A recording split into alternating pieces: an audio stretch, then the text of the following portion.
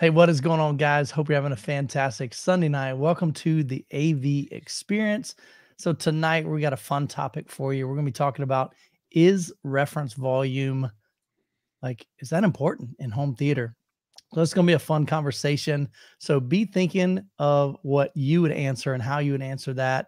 And we'll get some thoughts in the chat. And so, happy new year again to everybody. We're uh, what week two of the new year, technically? I guess. If you Yeah. start on Sunday, this would be week two. Yes. Yeah. So right still early. So hopefully your New Year's kicking off good. If you made some New Year's resolutions, hopefully you haven't broken those already and uh, you're off to a good start. So each episode, we're going to try to get back to having a topic at the beginning and then we'll address that topic, have some good conversation, get some comments from you guys. But then after that, we will uh, take your questions. And so if you've got home theater questions, drop those in the chat and we'll get to those in the order that they were created. And super chats get bumped up to the top of the list. And uh, so, man, I'm super pumped about this topic. And the cool thing is, we don't rehearse this, we don't. Um, I'm too lazy to rehearse. collaborate and figure out okay what are you going to say because i want to make sure that my thoughts line up with your thoughts you're getting our honest thoughts on this and what's going to be fun about this is there are going to be times that where we do not agree and one thing i hope that uh, the av experience um, kind of models is it's okay to disagree it's okay to have differences of opinion it's okay for Jonathan and Ryan to be wrong and me to be right. Um, that's okay. But there are going to be times where we just don't agree, but you can see that doesn't change our friendship. It doesn't change our camaraderie. It doesn't change the way that we think about each other. We I mean, secretly it does. I just don't tell you. maybe it does secretly but we want to like i said we want to model that uh, i think this niche of home theater i think that that we should be able to have differences of opinion whether it's on cables whether it's on the DACs make a difference whatever the topic and we can at the end of the day have difference of opinions but still you know shake hands and be friends about it so jonathan's laughing like I'm laughing at little comments that pop in here like this. Like, you can have an opinion, but it's gonna be wrong. see exactly that's Yeah, right. I agree with Chris. yeah Oh, You're just wrong. So, My yeah, daughter we're gonna- made me watch Godzilla today with her. was it a new one? out. No, she watches all of them, and I'm all for it. I'll rewatch them as many times as Wait, needed. isn't your daughter like four years old? She's five. Too funny. Godzilla's one of her favorite movies. Heck yeah, man. Why wouldn't she, it be? Godzilla always comes on screen. She's like, "Dad, look!" And he's just I- beating the crap out of some monster, and it's she's all excited about it. I think I rest my case. That's all that needs to be said right there. No, it's amazing. I don't know why that's so bad. You got to go in with the expectation of what Godzilla is going to be, and then you just let it roll. All right, happy about right. it. It's funny. Jonathan's over here wanting to be stimulated all the time. It's like I, I need mathematics and all of this genius material. And no, Godzilla sometimes perfectly adequate, and I am very happy with it. Jonathan just thinks he's better than all of us. No, I never, never. I just can't do Godzilla. He does.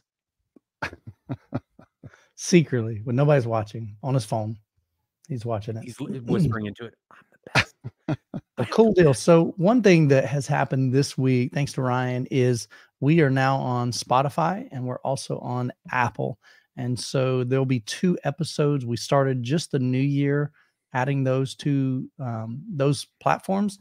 But technically, we're going to be on like episode two years in, three years in. Um, Episode a lot. Yeah. So I'll go back and I'll figure out how many episodes we've had of the AV experience and we'll label those accordingly and we'll kind of start um, with that. And so, but yeah, so Oh, we're is that what we're doing? Did we decide we're doing that? I'm doing it, man. I'm, I'm Okay. making an executive decision. I did tell Michael that he needs to decide within the first 30 seconds, and he did. He made a decision. Well, the reality is it doesn't make sense. It's kind of like having, I was telling these guys, it's like having a check, a new checking account and starting off with zero, zero, zero, zero, or zero, zero, zero, zero, one. It's like maybe you've had a checking account for several years. It just seems kind of weird. So we're not on episode two. We just have two episodes on Spotify and two episodes on Apple.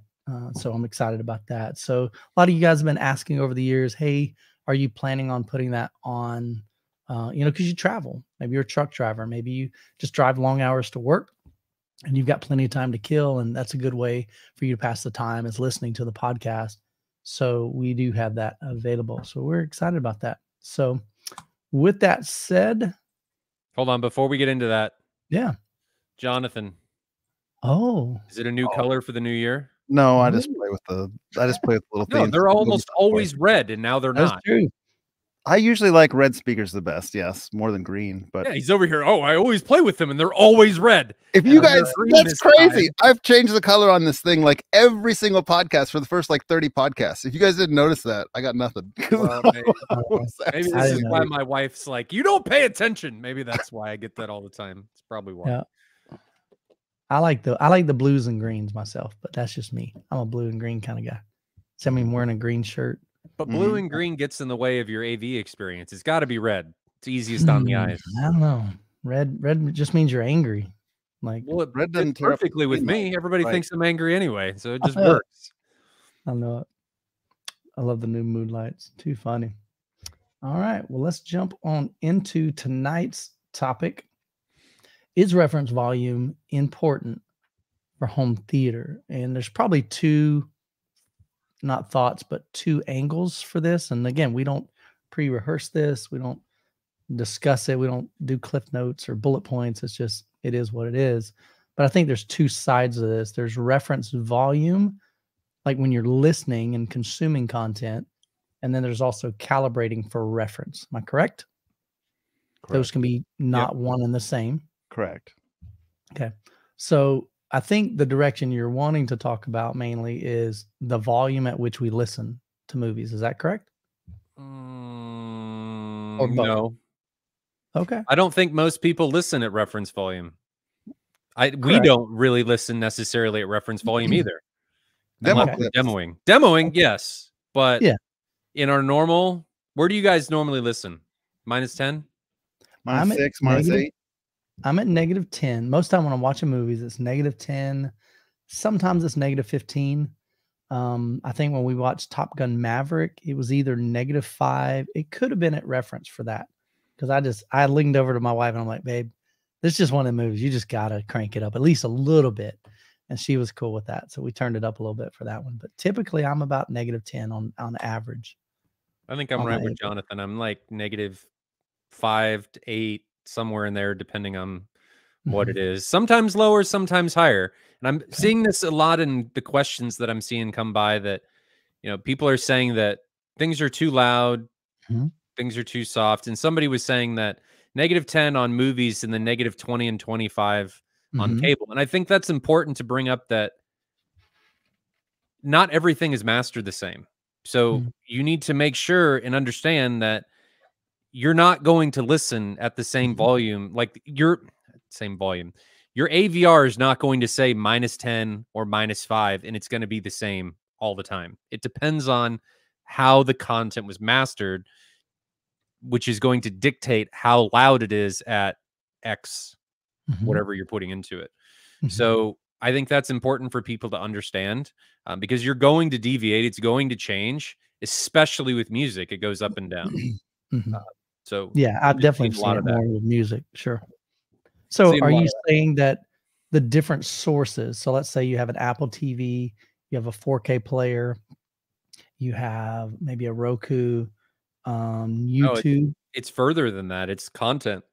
okay, so you're saying that so you could be listening to the same source, but putting one 4K player, 4K movie, and technically it be at this volume, Mhm. but then you put in another one, it could be louder or softer. Hmm Certainly, studio to studio can have different Absolutely. volumes, different mastering. Everybody's going to have their own point at which, or every studio and mastering studio is going to have their own point at which they master content, and it- Mhm. even that may vary. So I think that's important to to keep in mind. Yeah, Jonathan even says physical versus streaming will affect SPL as well. hmm So this one's always interesting. So, uh, and I hear a lot of this with the Anthem products. Um, I think there was somebody else up here. Yeah, so Anthem, it didn't really say that. Um, but I've heard that Anthem calibrates a little bit differently with ARC than say Audyssey or AccuEQ or uh, YPAO. And it seems like it calibrates a lot lower in volume. So where I would normally listen to at a certain volume, theirs may be different. It may be loud. I don't remember if it's louder or softer. So Nicholas says negative 20 with his AVM 90 is actually really loud. But loud is also subjective. Like, what do you, Rude. what is loud? What are you defining as loud? Like, true. You, I got you. It's like if I ask somebody, what's your budget? And they say, oh, affordable. Well, what's affordable? Right. That differs with every person. And loud mm.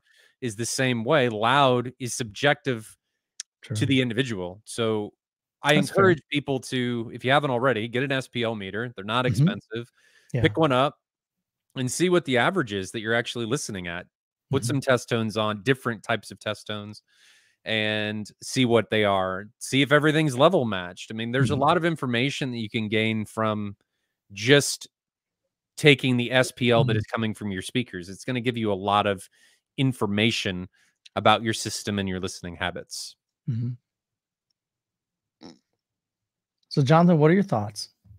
Yeah, I, there's a couple things that I would say. I don't think that there's a right or wrong, first off, as far as what your preference is, but there is a right or wrong as far as your setup. Mm-hmm. The reason that reference is developed is so that we all have a standardized listening volume and we can talk to each other and know what the other person's listening to. So if Michael says, I like negative eight, then I more or less know what negative eight is, right? Mm-hmm. Because I just let the receiver do it and I walk away, or I don't even do any calibration. I do negative eight could be 20, 30 dB apart. Mm-hmm. If we all set up our system with the with the test tones from the AVR, from a you know a disc like the Avaldisc or the Spears and Munsell or the Disney Wow disc, and we all set it up, then we know we, we're speaking the same language. Yeah. We all know what negative eight is or what negative 12 is, and we have a common bearing. Um, so even if you don't listen at reference, I think it's important to do that. Mm-hmm. I have a mm-hmm. little sound meter here. I'd like to show you. Yeah, um, let me put it up here. Basically, what you'll do for it may not even show up very I got well. the same one, the top tees. Yeah, they're yeah. like 25 bucks on Amazon sure. or something. Um, if you don't have a calibrated mic, you take one of these and you use your internal receiver test tones is the simplest way to do it. Uh, Denon, Marantz, some of the different products, they'll use a 30 dB offset. So you'll set your main listening volume to zero. That's important. Your main volume knob goes to zero. And then mm-hmm. you use the test tones and you hold this about where your ears would be at head height in the main listening position. And you cycle through all your speakers. And if it's got a 30 dB offset test tone, you're going to set it to 75 dB with the internal receiver test tone. If it has a 20 dB offset tone, like some of the boutique products, uh, Storm, Trinov, stuff like that, it would be, if it has internal test tones, it would be a 20 dB offset. So you'd set it to 85 mm-hmm. with your with your SPL meter. Once you've done that, then you then we are all speak in the same language. We know that we're talking what we're you know we're all talking apples to apples when we're talking mm-hmm. sound levels. So that's that's important. The other thing that's kind of nice about references, they've done the studies. It's been around since the 1970s we know that it's not going to hurt your hearing. Like that's kind of this the maximum safe volume that's been agreed upon by the powers that be that says this won't hurt your hearing. It, it you may think it sounds loud. It may hurt your hearing subjectively individually because you're not used to something loud, but it won't supposedly physically damage your hearing. Mm-hmm. So it's a good safe spot. I limit my AVR to zero in the in the menu options because I don't right. want it to go louder than that sometimes during these fun little celebration things where we're having demos over, over sounds yeah. so good you just keep cranking it up mm-hmm. yeah in my experience you can listen to reference for hours and your ears don't really ring the next day with a with a well capable system as soon as you start ticking past that even just like three or four db past that my ears are ringing so to me it it holds true that that seems a pretty safe volume so it's mm-hmm. kind of a not only a good apples to apples, just a level playing field, make sure everyone's talking the same language, but also like a safety benchmark that we can say we're gonna we're gonna play within the realm of reason and and know where we are as far as our safety and our and our hearing's uh, longevity. Yeah. So that's my that's my take on yeah, it. And some people had mentioned, you know, we definitely need to make sure that we're taking care of our hearing. And um, so like I said, to me, reference volume is a bit louder than I like to listen to a full movie. Now I'll do mm-hmm. demos at reference, no problem because you're talking, you know, two three minutes. But for me to watch a two hour movie, now granted, everything during a movie isn't full, wide open, you know, 105 dB all the time, but it can get that loud. And so to me, that's a little bit loud for my taste. And I think Jonathan's right. That's where preference comes into play. But Mhm. when you calibrate, you still want to calibrate it to reference. And it's it is interesting because I've, I've been watching the chat, and some of you are saying like um this gentleman here, I think he set it to negative negative 20 and negative 30, he said is like ear piercing. So if your system is calibrated to reference, that shouldn't be the case. That's correct. Um, Uh, that could be something else, though. ear piercing though at be dis- 30 could be distortion. yeah but uh, there's a difference between distortion and ear piercing ear Mm. piercing is like holy cow turn it down Yeah, but your perceived like volume when you're ear. distorting is going to be much lower than Mhm. if it's clean, right? You're able to listen to clean volumes much higher than i get that but i still don't see how negative 30 would it be ear depends on how he's how he's calibrated. i don't think so Yeah, i think you're wrong on that one Absolutely. It would depend on how he's calibrated. Let's say Yes, correct correct that's what i mean yeah But if it's not calibrated to reference that's what it i mean You can absolutely do that. For sure. So he's calibrated to reference. He's at negative 30 on the volume and he's going, Oh my gosh, this is killing my ears. There's no It physical. depends It- on his processor. It shouldn't be if it's Because, calibrated correctly. Guys, Storm and Trinov do this differently. I Storm, if I'm I could be at reference at negative 20. I don't calibrate to zero. There's no way to do that. Like that- all the so you're- processors I guess going you're missing the what we're saying. If you calibrate to zero, there's no physical way that negative 30 on your volume would be ear piercing. That's all I'm saying. You should be able to. And wait, let's No. back up a second. I don't have a Storm or Trinov. I've played me with them in my room, but I- but you know those better than I do because you have had them. Mhm. If you, even if it doesn't have the internal test tones, which maybe I, I thought they did, but if they don't, you could play like an Avila or a WoW or any other process disc that has those 20 and 30 dB offset tones, Mm-hmm. and you make yours, you turn it to zero on your dial, Mhm. and you make Yes, it so. You could, but I'm saying that you guys are only considering a very finite amount of variables. And there's a lot of stuff that could be impacting what Tito is talking about. Like you guys are only considering a couple things and you're assuming that this is what's happening. But so what what could cause that then? I guess. I'm saying you don't know what zero is. You don't know where his reference volume is set to. You don't know where reference is in his system. but we know there's a process to get there. We don't know what it is now. If he followed that process, And I, I think that's what we're saying is if your system is calibrated to reference. No, no, because it depends on what you've set as your zero point. Your reference does not have to be zero dB on the meter on your AVR. That doesn't have to be reference. You can set reference to any point, it doesn't matter. And most of the time in Storm, unless you're pushing it all the way, you'll calibrate to like negative 20 or negative 10 or something like that. Hmm. So you guys are assuming that you're setting reference at zero, and Correct. that doesn't have to happen. I mean, technically it doesn't. I mean, I could turn my when I'm calibrating, I could turn my volume down to negative 20 and calibrate that as my 75 dB Correct. if I Yes. wanted to. But then to me, I'm not didn't- calibrating to reference, I guess is my thought. Well, you would be, but your main listening volume would be negative 20. So you'd have to do Yeah. the little offset. Correct. You would yeah. be. It's just be Yeah. represented different. So Yeah, my I point mean, with I- this is that you're you're on that. still calibrated. You can still calibrate to that point, but True. you can't assume that what the AVR is telling you is reference or Yeah. is a, a value, right? But why? But why would you do that? I don't know. I'm That's a great question, John. I'm simply saying that you guys are just making the assumption Mhm. that everyone is going to do this, and you can't make that assumption. All the consumer AVR should be attempting that, whether they're That's, successful that's or what I'm not. thinking. They should be attempting that. Yeah. Storm and Trinov do not do that. I don't not consider them consumer consumer. AVRs. Yeah. that's boutique stuff. We need to pr- like I was I was talking to Gene DellaSala literally last night, and he's like, "This storm thing, this thing's like pretty tough to understand. It's not like Yes, but you Basics. again, This you're just not- you're making assumptions on what Tito has. You don't even know what he has. All right, Tito, let us know what you have, brother.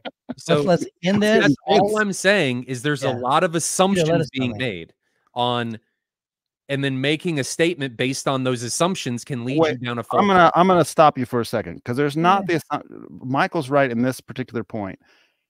If it's calibrated, if he has negative 20 or negative 30 as reference, like if it's calibrated and that's his offset, Mhm. then if he's 20 or 30 dB below what true reference is, even if it's negative 20 or negative 30, then he's negative 30 or negative 40 or negative 50. And 30, 20 or 30 dB befo- below whatever you categorize reference is But not too Tito's loud. not saying that. He's saying at negative 30 on his AVR. So he has a processor. He has the HTP1 from Monolith. So He's all- calibrating. all, Tito is saying is that so everyone's saying that negative 20 and negative 30 is ear piercing. Are you setting your speaker level to 75? He's asking a question. He's not stating that he's doing anything. Oh, well, if he doesn't do any setup or any, it could be, yeah. No, Tito is asking the chat something. Okay, where's not- that? Put it up on the screen. He so says, so everyone's saying negative 20 and negative 30 is ear piercing. Are you setting your speaker level to 75 dB? Mhm. He's not doing that. He's asking chat if anybody that is saying negative 20 and negative 30 is ear piercing, have they run calibration? Mm. So again, you guys are making assumptions based on things when the question that's being asked isn't even what you guys are assuming. So maybe I misread the question. Why don't you just say that? I'm just going I thought to, he was. I the way I read that earlier, and I could be wrong. I've been wrong a couple times in my life, even recently. But I read it as when I set mine to negative 20 to negative 30, it's ear piercing. That's, that's, the not way how I, read I it. how I read that at all. Okay, then we read something too entirely different. all, all I'm this is I just want to make sure because this Yeah, is yeah, I think no, goes back appreciate to what I'm Yeah. the video that Gene brought up Yeah. earlier is that a lot what can get people in trouble Mm. is making assumptions based on what's going on and it's really important that people consider as many variables as possible Yeah. before imparting or making any type of a decision based on information in front of them otherwise you can lead let me go down ver- you can lead down false paths and you can get to a lot of bad positions where you think you're doing something and you're not I'm looking back for the original. Maybe it wasn't even his. Who was the comment? Help me find the comment, the original comment that said that negative 20 to negative 30 was ear piercing. And so maybe that's where I'm missing it because the only one I'm seeing is the one you've got up right now. So he's saying that other people are saying that's your piercing. So where is that comment? Okay, so Mm. right here, so James mentions negative 30 on his Pioneer Elite with Outlaw Audio amp is ear piercing. So the question to James would be Have you calibrated it to reference to Mhm. where zero on your AVR or processor is reference volume? there you And go if so, if so, negative 30 seems impossible to be ear piercing. I guess that was the clear. I would agree with how- Okay. So that all of that to say that was crazy. Um I'm sorry if I came across no, no, like a dick. no, That- no, not at all. I these are the conversations I think need to be had. You did preface that we're not going to agree. And I'm 100% okay with that. I haven't booted you yet. Uh, you might not end up next show, but this show you're safe. You I would I would agree with that. That if you calibrate for reference and you go down to negative 30, that you shouldn't be. I guess that was just my question. And so maybe I I should say that if you calibrate to reference and you go 30 dB under that, correct. you should not encounter yeah, that, that, that seems like something's just off to me. Like Yes. that wouldn't make much sense. So look, we're not talking loud. I'm not like being crazy here. I'm just talking normal voice. But this SPL meter is registering me at 72.4 dB C weighted right now. Just my voice Correct. this far away. correct. That'd be that'd be like 10 dB under reference right now Right. because reference is supposed to be like a basically normalized. A normal talking voice would be like 85 dB. So if we were watching a movie and I was talking, it would be 10 dB louder than I'm actually talking right now if you were playing reference. Now peaks go up to 20 to be higher than that Sure.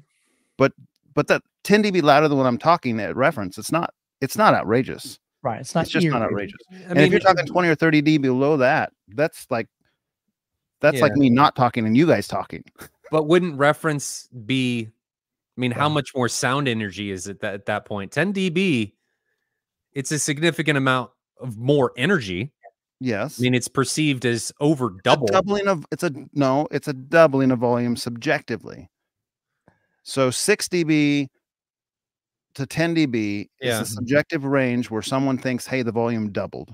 Right. Correct. So so basically twice as loud as I'm just casually talking to you guys into the mic with the Yeah. meter right here is is basically reference. Yeah. Yes, I would agree. I'm just stating that. I mean, Mhm. people could as my wife would assume that that is very loud. Mhm. Yes. Yeah. I- Jessica probably would too. She'd be like, all right, turn it down. So Big Jack, so along that same line, if anyone runs calibration to level match, zero should be your reference for consumer AVRs.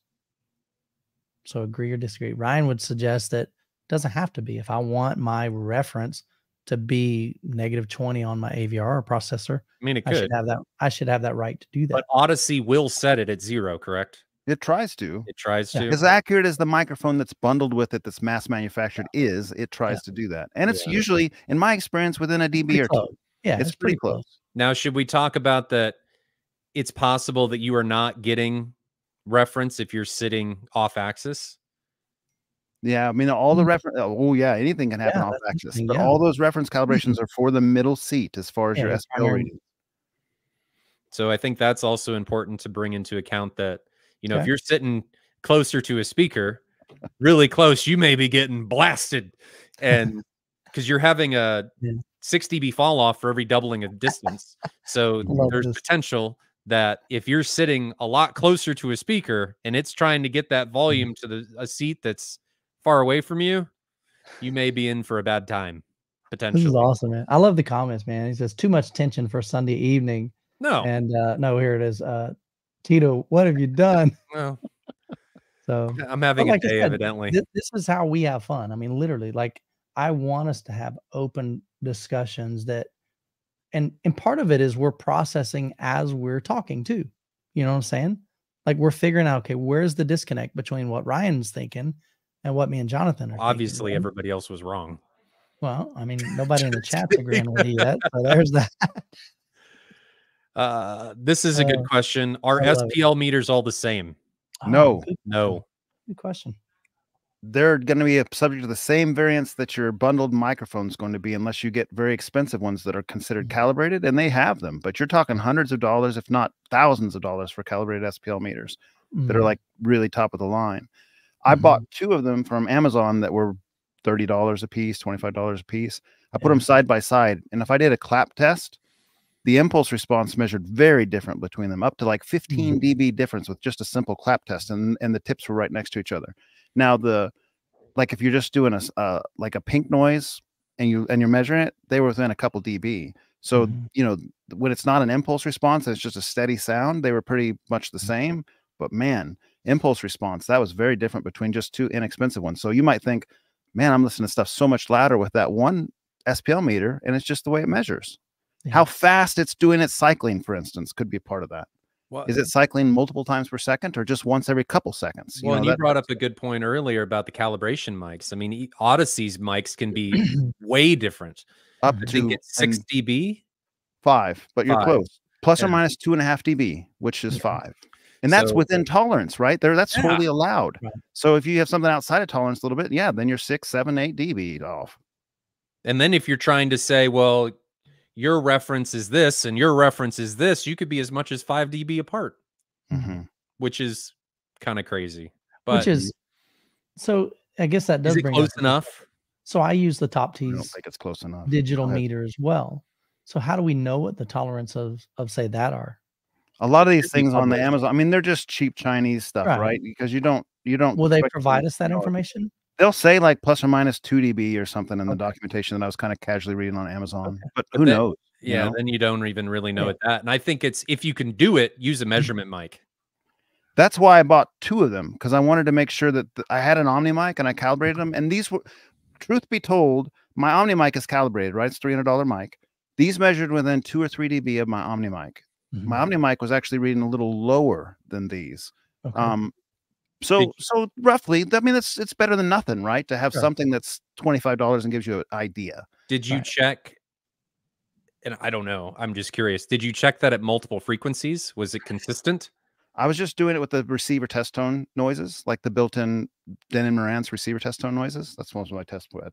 But and then the clap test, of course, I was testing with that too. Mhm. Now, people try to say I'll use my phone as an SPL meter because I got an app. Mhm. That's bad. They mm-hmm. don't usually they're not very accurate at all. You Yeah. you could be five or eight dB off with this either way. And so this is going to be a better option because it's purpose designed for that, Yeah. that function. So since we're talking about SPL meters, the question came up: How do you calibrate an SPL meter with another SPL meter? Well, you'd You have to know that one SPL meter is right. No, you'd have to buy one that's like upper end that would even allow you to do it. These don't these You would have to have a fine. You would have to know that one is correct. Like you would have to know that this is actually right. So that's why I brought up the point of calibration mics. I mean, if it's been calibrated for X volume, then theoretically you could calibrate an SPL meter off of a calibration See mic compares. to see what its SPL was reading. So you can do it typically we way. talk about calibration mics. We're talking about a UMIK one from Mini DSP, UMIK two, hmm OmniMic, um, Dayton Audio. I think makes one as well. Earthworks. there's a bunch of different companies. make- those all because they're a calibrated microphone? Does that necessarily mean that they're all calibrated to the same SPL? Is there any variance in the UMIKs? I they're supposed to come with a calibration file. They do. so Correct, they do. should I'm be all wondering. individually calibrated within probably a half a dB or Okay, something. so they be my- should be pretty accurate if they're a Yes. calibrated microphone. If you're getting the cal file and you're inputting it in your system, that's Sure. important to do that. You can't a calibrated mic doesn't mean jack squat if you don't use the calibration file. Because at that They- point it's just off the factory just like anything else. They don't Well, have and then- for it. But how do you know that the first calibrated mic ever is ever I calibrated? know. These are good questions, man. you gotta you gotta have trust at some point that Yeah. they're basing things off of a known vari- variable. But Yeah. So I think to me, what I've always recommended on my channel is yes, it's good to have an SPL meter. And I love level matching all my speakers. Even if your SPL meter isn't super accurate, at least you may not be, I guess, calibrated to reference. And in a way that's kind of arbitrary. It's not that big of a deal. We're always adjusting volume based on our preference. So if negative 30 is ear piercing to you, then you're going to be listening lower than that. If zero is ear piercing to you and that's not comfortable, you're going to be about negative 10 or negative five or negative 15.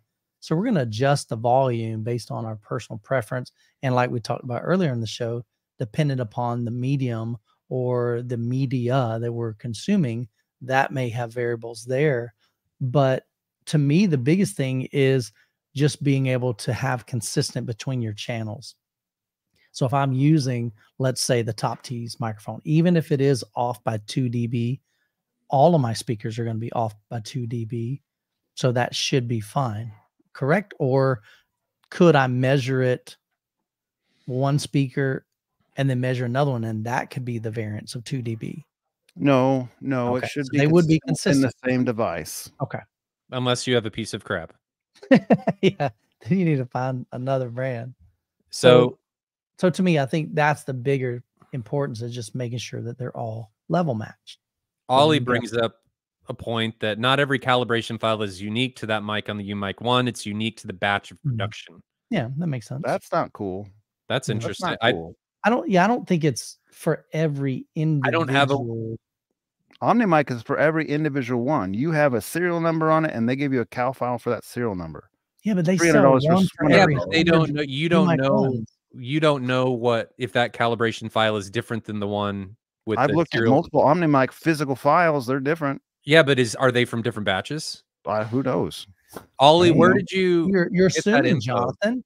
You know how much trouble we can get assuming stuff, right? Hey, I'm Uh, I'm asking Ollie to to verify. Ollie, Right, man. do you have the link or anything for that info? I'd be interested in that just to Yeah. see where where that's from. yeah. I don't know if that's true or not, but be interesting if it was. So Maybe- I see a lot of comments in here still saying that people are confused about all this and it's not making sense to them. So let's let's break this down a little bit Yeah. more. I Should we it. start over? Let's Maybe. do it guys, all welcome again. to the channel. Episode two. All right, here's where Ryan gets mad again. Let's do it again. right. Fire him up. Uh, but let's let's start over and say like what reference volume is, and then kind of why it's important, and then the calibration, and I think maybe So THX reference was defined in the 1970s by George Lucas's THX film stuff.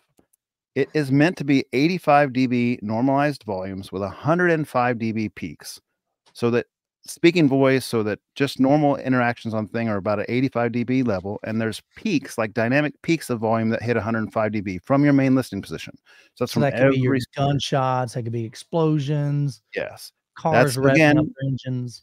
Designed to not damage your ears. So it's kind of like a high water mark that won't hurt humans' ears. Mhm. Each speaker should be calibrated to hit that that level that they defined, and then you can change it subjectively from there. But that gives you a starting point. The Mhm. subs are not the same.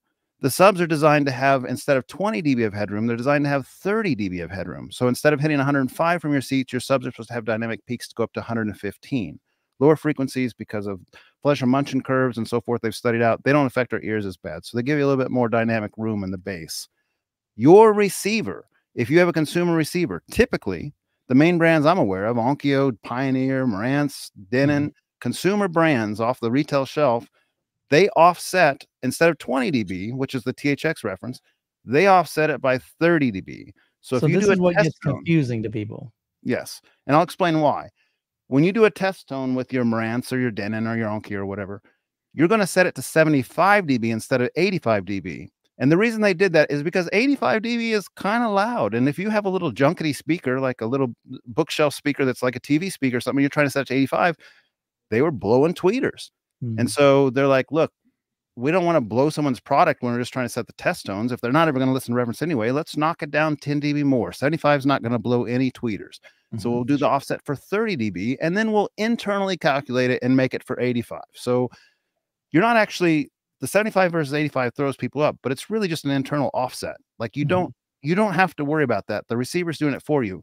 If your receiver or processor does not do that offset, then you need to calibrate it to 85 dB. And 85 dB is just the normal threshold, and that gives you the 20 dB t- peaks. For subs, you also calibrate them to 85, and the receiver and the processors know that it has 30 dB headroom. So you're not putting your subs at 80 or, or 95. You're still doing the test tones at 85 with the subs, and then um, 75 on Denon Marantz, 85 for Boutique, and then Mhm. that 30 dB of offset is set there with the with the subwoofers. Does that make sense? Is that cleared up?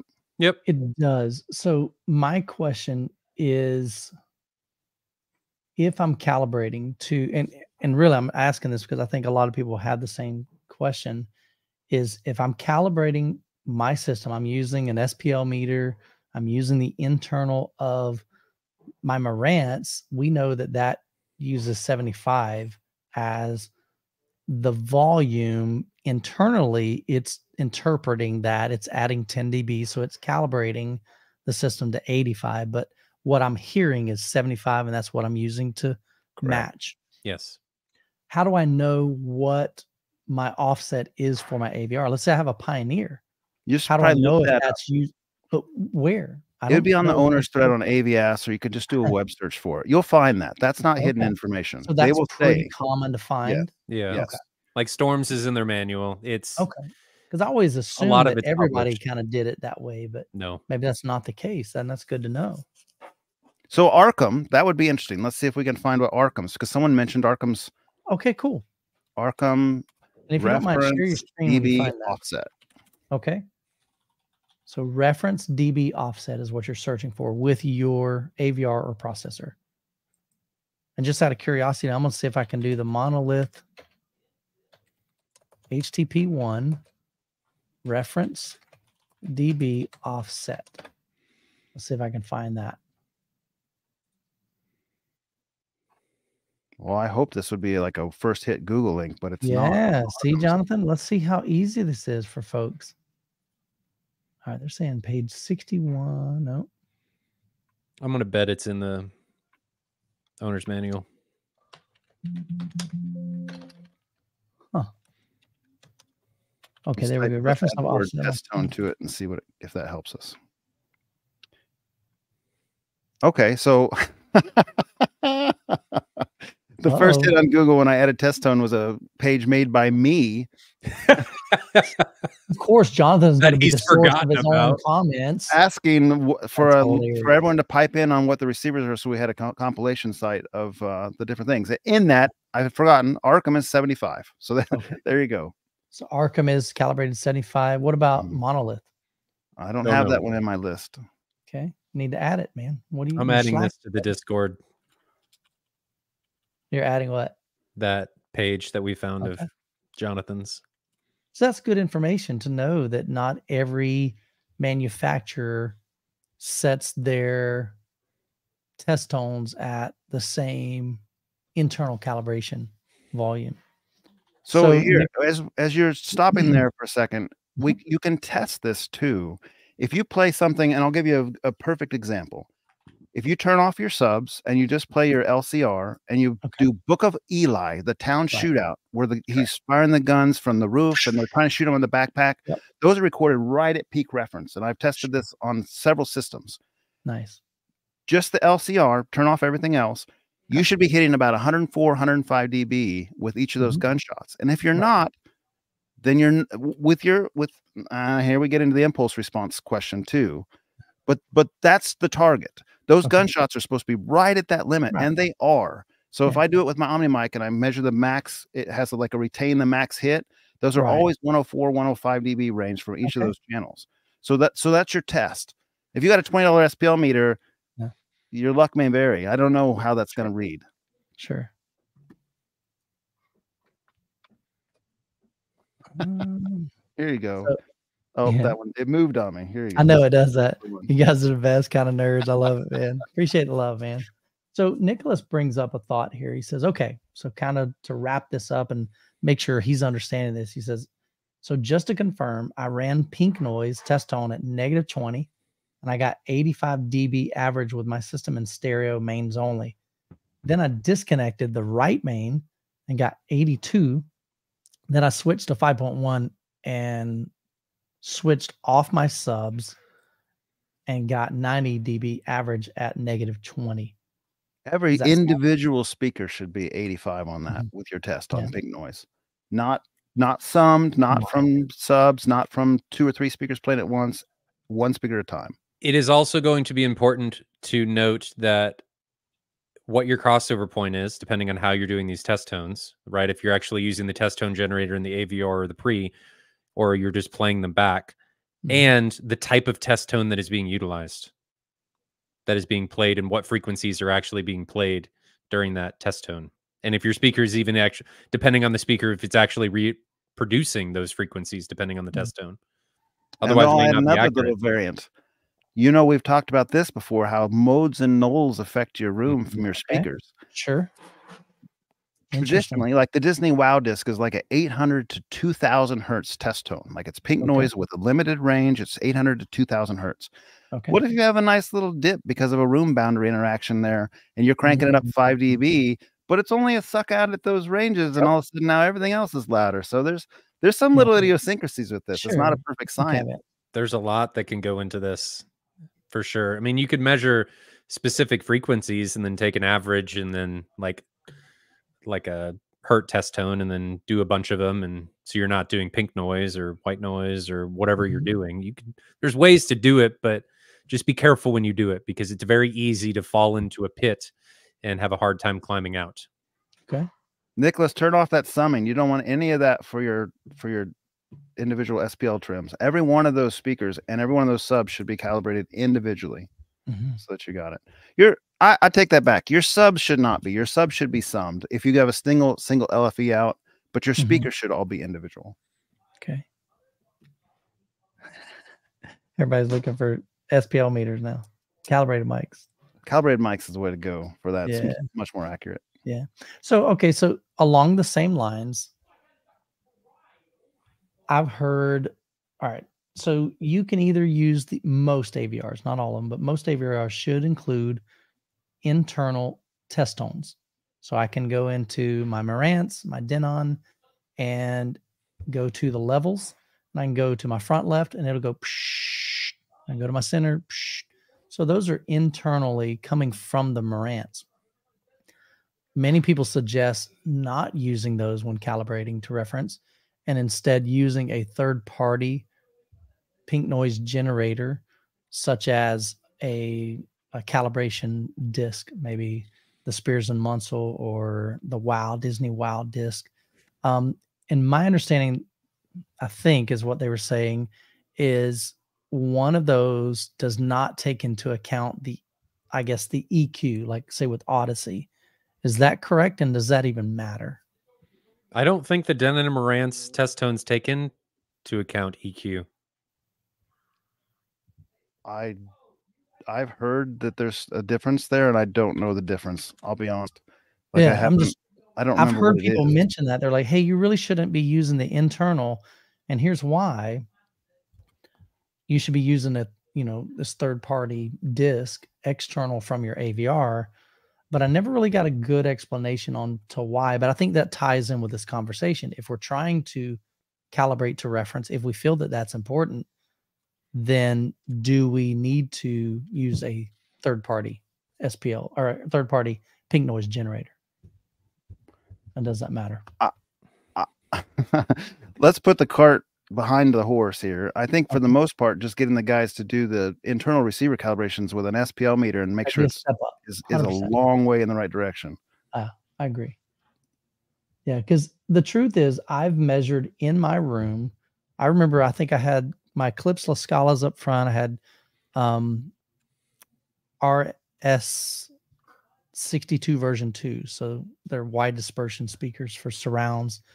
And I remember Audyssey was way off. I mean, we're not talking a dB, we're not talking 2 dB, we're talking like 5 dB off. And I'm going, that's weird. Now, part of that could have been, and this probably is another subject. I probably shouldn't even go there, but I may have been bottomed out on my LCR because they were so efficient that it, you know you know what I'm going. You're at negative twelve, and it couldn't go any lower. Yes, it may have needed to go to negative fifteen. So that could, yes. now thinking back, that might could have been the big variance there. But I just remember having to increase my surrounds quite a bit higher than Audyssey had had leveled them. And Audyssey still had more room to go, but I had to manually go in there and and do that. So that could have been it. So that may be something totally different. Uh, KK Somebody says, said in the chat, show us in the menus. I'll do it real quick because I got okay, access cool. to it. Let awesome. Can you show us? Sure. You rock, Jonathan. So See, this is what we want to do, guys. We want to provide as much information for you and be as as resourceful. Look at you, dude. He's already plugged in via Can you the... see? I assume yes. Yes. Okay, so this is just the Marantz homepage. It look the same within in Marantz as far as mm-hmm. the web interface. Most of these receivers are going to have it. And if you don't have it in the web page, you can just go through the GUI, the on-screen GUI. Mm-hmm. So I'll go to speakers and on the button. I'll go to levels, and you can see that these things all have these individual trims. Mm-hmm. Well, these trims have been set, and I've double checked them, triple checked them in my main listing position, so that every one of those is 75 dB on down the list. Mm-hmm. Um, and and that's where that is. So you know, you take your SPL meter, you hold it about ear height, main listening position, and you and you add a half dB or less, and you change it to mm-hmm. where it's appropriate. Yeah, uh, and that's it. Um, interestingly that, enough, that's going to be a little bit different in each AVR. So Yamaha's going to be yep. a little bit different place, but there you're looking for something in your setup menu, typically under speakers, and then it should say something like levels or some. Someone may call it trims, but I think most of them call it levels. And and what Ryan or what Michael was talking about that you want to be wary of is if any of these things are at their limits, like say mm-hmm. it's at negative 12 and it can't go any lower, right. your receiver is saying, I'd like to cut that more. I can't. I only it have this much of a yeah. threshold to do. And so you're not gonna, it's not gonna be accurate. Mm-hmm. Um, likewise, if your speaker is all the way up here at plus 12, it can't get any louder and it's trying to make it louder. So you don't want any of these things to be at the limits. If they are, um, there's some solutions for it they require attenuators or mm-hmm. boosters, like either way, uh, depending on which side it is. Yeah. Um, or you just should get different speakers potentially to match. Oh, whatever, man. That's hard to do. It's hard to have 12 La Scalas in a room. That's uh well, so like if you had a super sensitive speaker like Michael's that's 102 dB or whatever it is sensitive, and these are at negative 12. Yeah. Then you would, if you had an external amp, and this only speaks to external amps, they're what's called attenuators. And we've talked about that in a different show. There's both Mm-hmm. RCA and XLR, and they just look like a little dummy plug, if you will, that goes in the signal line and it attenuates the signal so that Mm-hmm. the the signal coming out of the processor, the AVR, is less that Mhm. goes to the amplifier to be amplified. And so then let you get out of that negative 12. You're up here in negative six or negative four type range. You know, It- Yeah. you can get them for different amounts. It could be a negative six dB attenuator, a negative 10 dB attenuator, a negative 15 or a, you know, a attenuator. So they have these different, these different levels that you can buy of them Mhm. too. Yeah. Um, I can pull those up real quick to show you what those look like. Yeah, they just kind of sit in line between the amplifier and the processor or your AVR. Yeah. So, so here's an RCA style. This is a 3 dB Do I have to attenuator. Share your other screen, Jonathan. Oh, You yeah. may have sure. to. Yeah, is it? It's looking at your that tab maybe. Okay. Present, stop screen, present, share Now screen, and then go to Parts Express.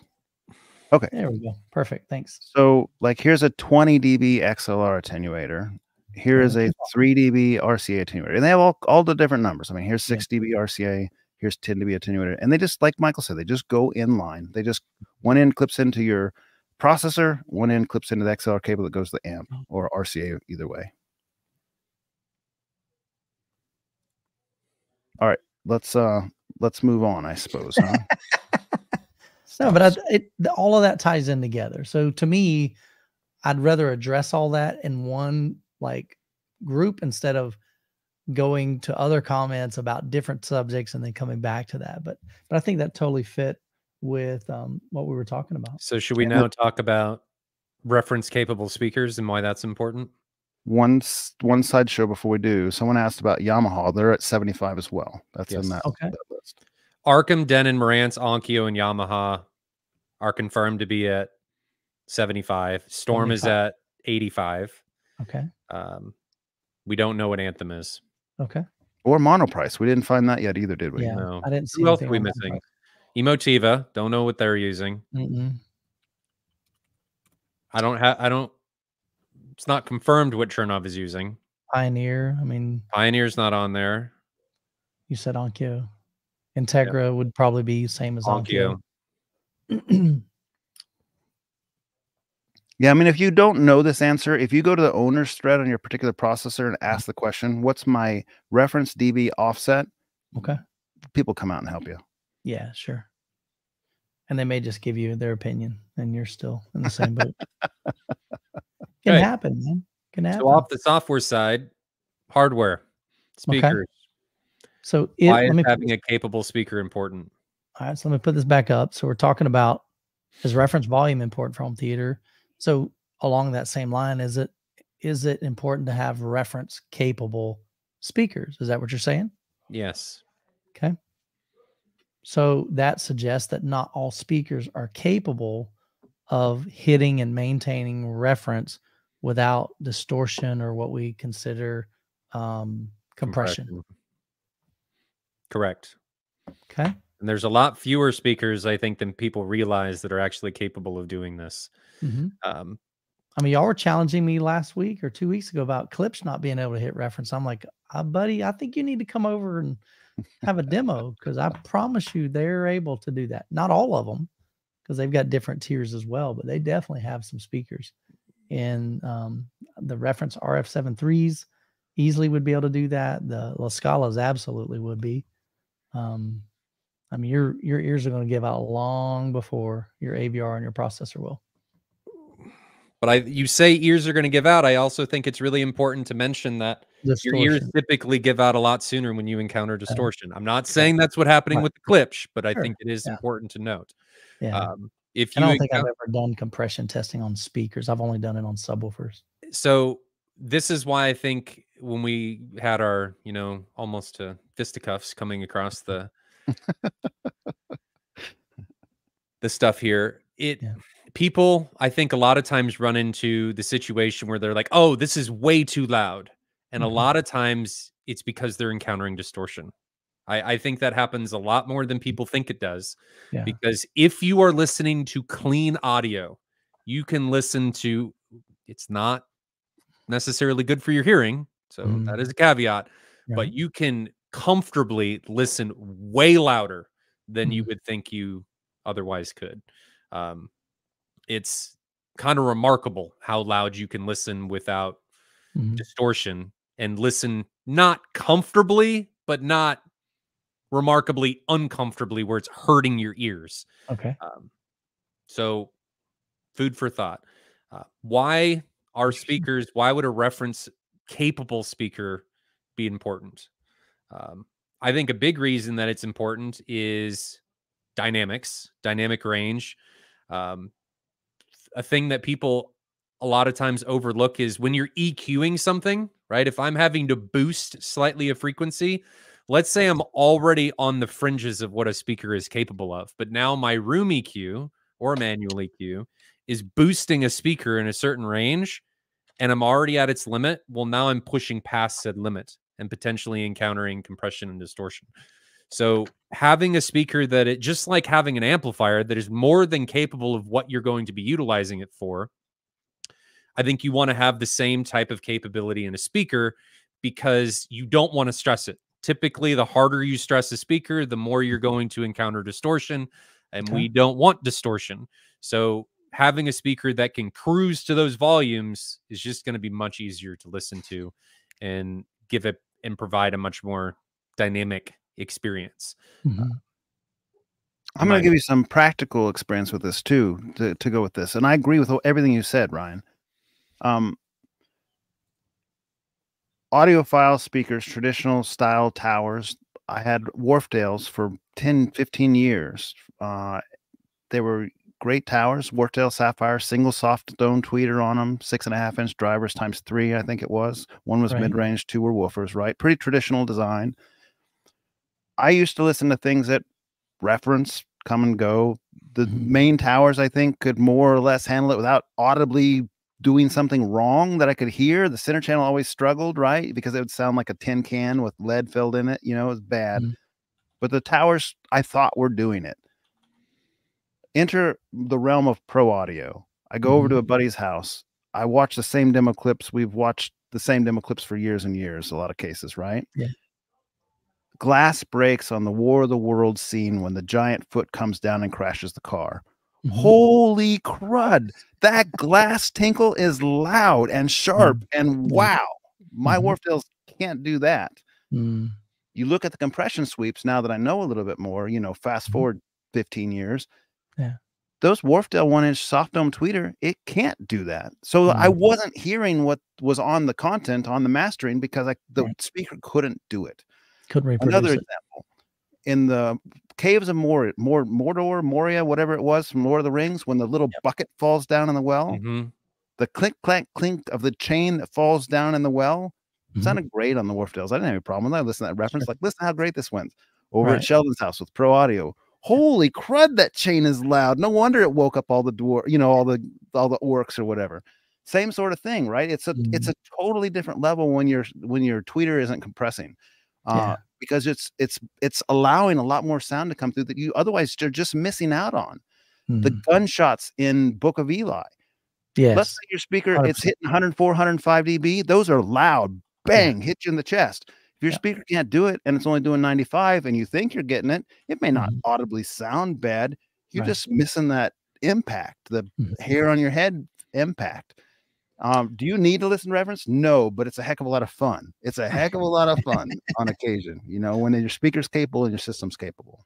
So, Jonathan, would you kind of equate that to maybe a subwoofer that can't reproduce, say, really low frequencies? So, let's say I'm watching um, Ready Player One when Kong lands on the uh, the freeway, when the the dinosaur stomps, and when the wrecking balls hit. Mhm. I know from having subwoofers that are capable of hitting single digits, there's content really low. I don't know how low, but there's content really low Mhm. when I go to somebody's house and do maybe a home theater tour and they demo that same scene, I don't hear anything bad necessarily, but Mhm. I'm But missing out missing. on those. I'm missing out on those low frequencies that I know are there. So is that somewhat similar to what you're saying with a reference uh, speaker that's not capable of hitting reference? You're missing out on the dynamics that are that were built Mhm. into that scene Mhm, that really draw you into that uh, mhm. that portion of that movie and it sounds good it looks good but you're just not getting the full picture and you may not even know it. Yes, I think Mhm. that's fair. i try to come up with some cool analogies every once in a while Mines of Moria. Someone someone gave me the Mhm. correction there. there. That's. Chris. Yeah. appreciate that chris nice man so final thought on that is it important to have to listen at reference or to calibrate to reference we, i think we agree we should calibrate to reference Mhm. That agreed ryan may So we all can talk the same language. I think so. yeah you may not calibrate it to zero on your knob being reference but you still should calibrate to reference Yes. And know what that offset is if you don't Yeah. do 0 Mhm. definitely. that'd be a good demo Chris- right there reference Chris is hilarious. going. uh, i could see that And it's important to do that because it establishes a benchmark. It makes it very easily comparable to other things. And if you don't start from a fundamental starting place, how can you move with everybody else? our so here's a prime example along with that same line. If i were because somebody mentioned this you know what if my avr does not have um it doesn't measure the volume in decibels it just has a 0 to a 100 scale? So if i were to turn on to switch in the marantz you can either choose the relative scale which is relative to reference which is negative dB up to positive dB. Um, but it also has a what I would call absolute volume, which would be like zero to 99 or zero to 100. My zero to 100 scale on a Marantz is probably going to be different on a Yamaha. It's probably going to be different on an Onkyo. So you really don't know what reference is from zero to 100. And that's why in my video, I actually did one on level matching your speakers and how to do that and the importance of doing that. And that's why I suggested in that video go ahead and go into your settings, look for a, I think it's in the general volume setting in the Marantz and Denon. Um, and then you can change it from relative to absolute or absolute to relative. Um, so, but not I- every, not every I- AVR has that ability. Think, Michael, if you toggle back and forth, if you put it on zero in your Marantz or Denon and you switch the scale back the other way, I It think zero references 81.5, I think, Okay, interesting. which is a strange number, but I Yeah. that's what's coming ahead. I'm trying to look it up online to confirm that's right. interesting. By my mind, I would think it would be 82, but I Yeah. I think it's I think I recall it's not 82 for some reason. Trying to Okay. find. If I if I find, I'll let you know.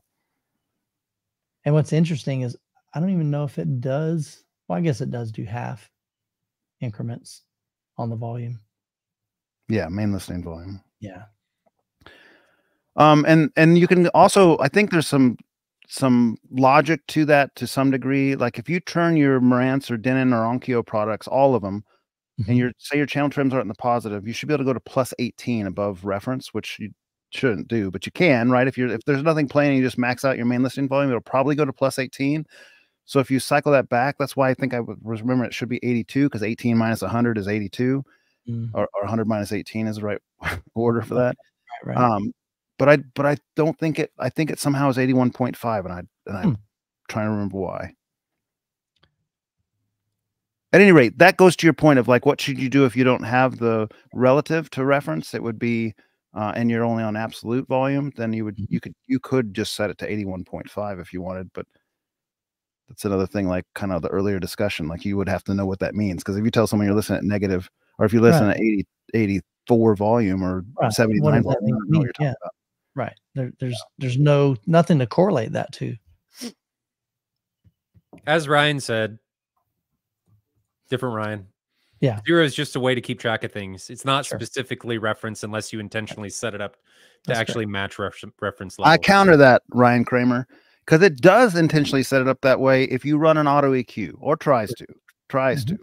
Yeah. So Yeah, that's but the goal. I of it. think what Ryan is saying is that unless is it intentionally set that way, which the room EQ is intentionally setting it that way. true. Yeah. I think that's what he's maybe Yeah. meaning. Yeah, if you just buy it out of the box and you turn it to zero, you have no idea. Like, Probably going to break something. Yeah, that's not reference. Probably not the best idea. Don't do that. Yeah. or if your volume knob gets stuck on increasing with the you're probably gonna break something. Nothing broke in your basement, our ears, but that was that was really loud. Let's not do that again. I think that was seriously that was a great conversation. If you enjoyed the conversation, if you like this style of format where we're answering a question or talking about a specific topic at the beginning, let us know. Um, and uh, that's kind of the thought going forward. We want to try to do that at the beginning of the show, and then uh, once we've kind of wrapped up that, then we'll go on to answering some. Well, I'm gonna we're gonna questions. pull you back here because there was a good Yeah. question that Yeah, came in at the end. Explain cool. the dB loss power requirement at different seating distances. So this is something that Oh, I comes up saying. quite frequently when you're trying to calculate, and it's a very rough equation. Like this Mhm. isn't. There's so many variables that come into this that it you can't use this as finite. Like this is what it's going to be. It's just a, Mhm. a kind of a basic under rounding of what's uh, could be potentially happening. So if you li- have a volume at one meter, whatever, typically your sensitivity at one meter at 2.83 volts. Mhm. So if I had say that's 100 dB to make it easy, your speaker Mhm. is 100 dB sensitive, getting 2.83 volts at one meter. Mhm. For every doubling of distance, so if I go from one meter to two, Two meters. meters, Okay. I lose 6 dB. If I go from, so now I'm at 94. If I go from two meters to four meters, I lose another 6 dB. So now I'm at 88 and it keeps doubling. Now, this can work to your advantage. This is part of why having big rooms can be very beneficial because the further you are away from a speaker, the wider that area is, right? So if I'm now four meter, if the main listening position is four meters away from the speaker, to lose 6 dB, I now have to go from four meters to eight meters. So it's a much larger gap. So you're able to keep a consistency across multiple seating positions if you're further away from the speaker to begin with. Yeah, but yeah, I see what you're saying. But you have to do that to begin with. What do you mean? Like your first row needs to be pretty far from the screen. Yes, but that, th- my point is, is that I bigger rooms, it's an advantage for having consistency over So multiple. more consistency and volume versus Correct. my room. I mean, I'm nine feet, but even then, I'm nine foot from to the first row, but then I'm only 14 feet to the next row. So I wouldn't really experience anything because I'm not doubling that distance. So nine foot, you'd be at two, three meters, Mhm. right? So So maybe down. But you have room, you have boundary gain, and you have all There's that other lot- stuff that yes, Yeah. makes it real fuzzy. it can Right. absolutely. In my room, 10 foot of distance from the screen, 12 foot of distance from the screen in that area drops about 10 dB. So that's how it works out in my room. It's a little different in each room, but it's in that ballpark. Mhm. So if you're at nine foot, you're probably down nine or 10 dB, would be my guess. Mhm. Maybe eight dB, depending on how much Yeah, boundary gain you're absolutely. It's very rough. Like this isn't me saying this is what it's going to be. getting. Mhm. Virtually always it's less because you've got a bunch of gain going on in the room.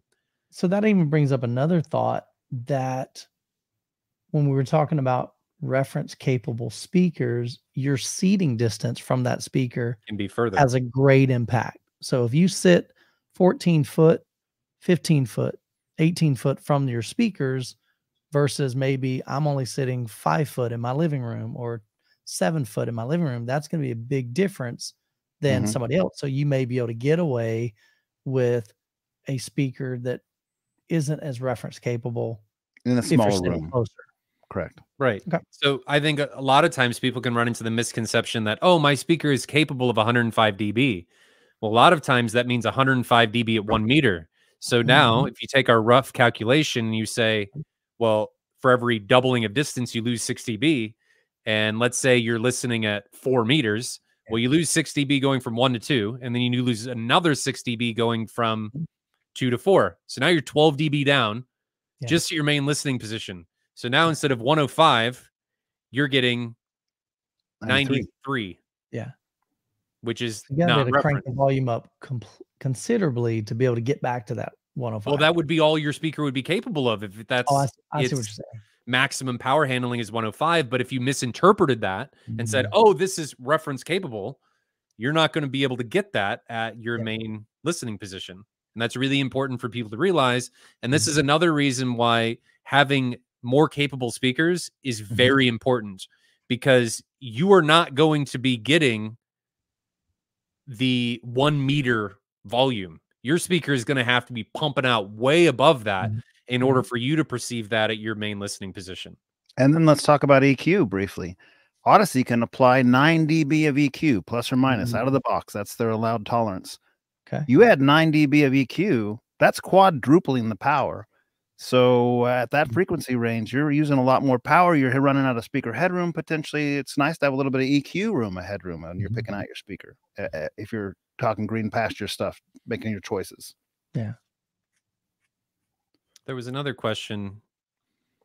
Nicholas had some stuff I want to address real quick. If if Yeah, do Go ahead. Hit it. Okay, so this is cool. He's doing some on the fly stuff while we're doing this. And he I found out that. with his meter that hey, my stuff was off and now I fixed it. You know, so he's he's in here doing the work. Good job, Awesome. Nick. Appreciate it, man. And then a little further Yeah. down, he has a follow-up question as he's still working through that. And I Mhm. will try to find it real quick. He's Okay. saying, What do I do my subs? Because my subs are summed and I can't do them individually. Is this the one? Yes. Mhm. So you would drop sub sum, and this is again general terms. If your subs are not, if they're not stacked on top of each other or side by side co-located, then they're they're only going to add 3 dB each. So effectively, if you had two identical subs with two identical amps on them, and they're on front corners of the room, left and right, then you mm-hmm. add 3 dB. So you're going to drop, you're going to, instead of doing 75, you're going to put it at 72 and 72. And then you're going to crank it 10 or 12 dB because it's fun. like, I don't like reference level bass. I want my bass hot. But, Yeah. but if you're trying to do it by the rules, it'd be 72 and 72. Okay. And, and that's fuzzy math, right? Because you might have boundary gain, it might be a little bit less or a little bit more than that, but but fuzzy math is 72. Okay. So where did this come up? Bible time. Yeah, I was I saw that one too. Question about reference capable speakers. How does the sensitivity rating versus power handling play into that? So this goes back to what I talked about when I started talking about a couple minutes ago about you know your doubling of distance and your loss of 6 dB. You start with the sensitivity of your speaker. So you'd look at whatever the sensitivity rating is, and typically it's one meter with 2.83 volts is typically what you're going to get. So you can take if it's 95 dB at one meter, if that's the sensitivity, then you start at one meter Mhm. with 95 dB, and then you double it to two meters, you subtract 6 dB. Now you're at 89. Double it again. Now you're at four, you're at 83, right? And you just keep doing that. So now to get that back, this is the part that we didn't talk about. Let's say you're at 83 dB arbitrarily. Mhm. To get that back, let's say we're trying to get to 105 and we're not talking about EQ, we're using fuzzy math. We're just trying to keep this simple. For Mhm. every 3 dB you gain back, you double the power. So for 85, we're at 1 watt. If we go to 88, we're at 2 watts. 91, 4, 94, 8, 97, 16, 100, 32, 103, 64, 106, 128. And then remember, this is not talking about EQ. So now, mm-hmm. if Audyssey has added, as Jonathan stated earlier, a three or a 9 dB boost on top of that, well, think about how much power you're adding on to that Four times amp- the power. the amp is having to deliver. So these are things that a lot of people don't think about and why it can be important to have an overabundance of power available that you may Yeah. think that you're not utilizing so that your amplifier can Mhm. deliver that. Now, you in quick blips it's could or could not necessarily be as much of a problem. Might not be audible. this is fuzzy, so just take this with the We're grain doing a whole lot of fuzzy math here tonight. There guys. is because there's a lot of variables that go into this with the room, Yes. with how this stuff is working, with the speakers and the amps and all different kinds of stuff. So this is just fuzzy, right? Mhm. Um, but that's let really me how. let me talk to this real quick because you're talking about this. The compression sweeps we've mentioned on here a few times, and we've talked about it a few times. Mhm. Let's say you let's say you boost a null 9 dB, and you probably shouldn't be doing that mm-hmm. anyway. But let's just say you do it because you want your Yeah. flat line in the main listening position. That's all you care about. So you've brought up one kilohertz 9 dB. As your amp starts running out of power, you do your compressor sweeps 5 dB. It looks the same. 5 dB it looks the same. Now your amp's starting to run out of power. That starts going back down. That 90 dB no longer is 90 dB boost. Now it's 6 dB boost. Five more dB more. Oh, now we're down at like 3 dB boost and we got a big hole again. 5 dB more. Now you got no boost at all. The amp's out of power. It can't give you that 9 dB boost anymore. It doesn't have that headroom. So now you got this curve right back again at that top compression sweep and it goes back to kind of its native EQ. So that's how it reveals itself. Is that visualize okay without seeing it? Mm-hmm. Makes Yeah. sense? Yeah. That makes sense.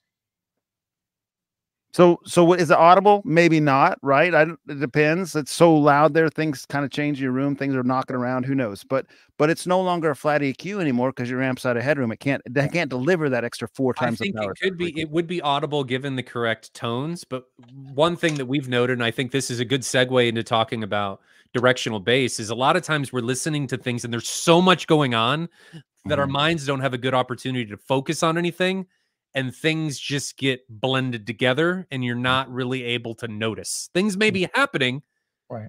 but we may not be able to perceive them. Right. And I think this is a perfect opportunity to segue out of this and talk about your stuff with directional bass that we were Oh, talking it's fun. that you So talked I- about at the beginning of this. Sheldon texted me. He's on the thing. Can I that be wish, a different discussion? yeah, we could do that another We time. Ah, could- That could I be like got I mean, this segue and because that could, that could be like like that's the conversation, man. Let's you know it what I mean. could be, but That'd be in the middle of a podcast. I wonder. okay, fine. All right, let us know in the chat. Would you rather hit that now? Well, of course they want to hit it now because they're here.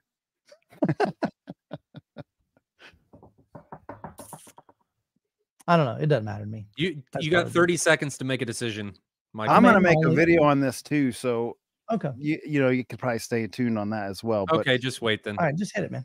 I don't mind. I don't mind just saying it real briefly, but but Oh, the fun here's the funny outcome, right? So I I listened to probably like 50 or 60 in clips, really intentionally, multiple movies, multiple games. Like spent three weeks with these directional bass, and and what we're talking about here, if you guys haven't followed along Well, with the to- podcast, To got- highlight what Chad is saying, hit the highlights and then do a deep dive another time. So Ooh, just Sure. okay. there you go. I like it. So my normal eight 18s are arranged two in each corner. And I did Mhm. what's called directional bass with Marantz. They have ability to take all bass from the crossover point down from each speaker, surround speaker, and redirect it to the nearest subwoofer. So your back right surround is feeding its bass. I raised my crossover point to 120 hertz. It's feeding its bass from 120 hertz down to that nearest subwoofer. The idea being that the subwoofer that's closest to the surround speaker is getting that speaker's bass. And is it audible or not? Right? That's the the people are talking about. Yeah, this is a champion idea. It's really good. It's really fun. I was reading some of that stuff. The new Marantz 2023 new Denon products have four subwoofer outs. They're all capable of it. Storm's capable of it to some degree, I think. Um, people are saying, yeah, I think it's a nice thing. And when I would ask, I, I would ask, like, well, give me some reference material that you think is the best to showcase this. And then there was crickets. You know, like just listen to it and see what you think. All right. Well, I'm gonna do some testing now because I want to know. So I listened to about 50 different clips intentionally, flipping back and forth, different people listening, my father and I uh, and I mostly. And I only found four, four clips that seemed like they were subtly different, and the rest of it was throwaway differences that I couldn't tell. So then I invited two of my friends over, Sheldon and Tim, last minute this last weekend, and I I showed them those four clips that Mhm. I thought were the differences. Like these are the ones that I think sort of made a difference, and I'm going to blind test you, and we're going to see what happens here. right.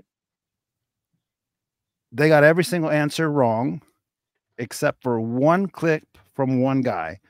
So I think if this was a Mythbusters episode and directional bass was on the table as far as what we're discussing, then it's busted. Because of the four clips I thought were the most notable, basically one out of eight answers was right. The odds should say you should get four out of four, and they didn't even, you know, like Mm. they didn't even get that. so it's it's weird because here's how here's how it unfolds. It works physically. I can Mhm. go to that subwoofer, and if there's something happening, like the Dolby Atmos Leaf demo was one of the ones that I said works, and I could, I thought I could subtly hear it. I could tell it was working. The little maple seed is going around the room, and the subwoofer is thump, thump, thump, thump, thump as the maple seed's going around. You go touch that subwoofer or that subwoofer in the corner as that maple leaf goes around the room, and those subs are moving hard when that maple leaf's there and quieting down otherwise. But the LFE, the overall LFE from the track is going to all four of them. So it's just the speakers that's routed to the bass, and the LFE is mm-hmm. going to everything. Right. What happens when you're in the main listening position is that's just not audible.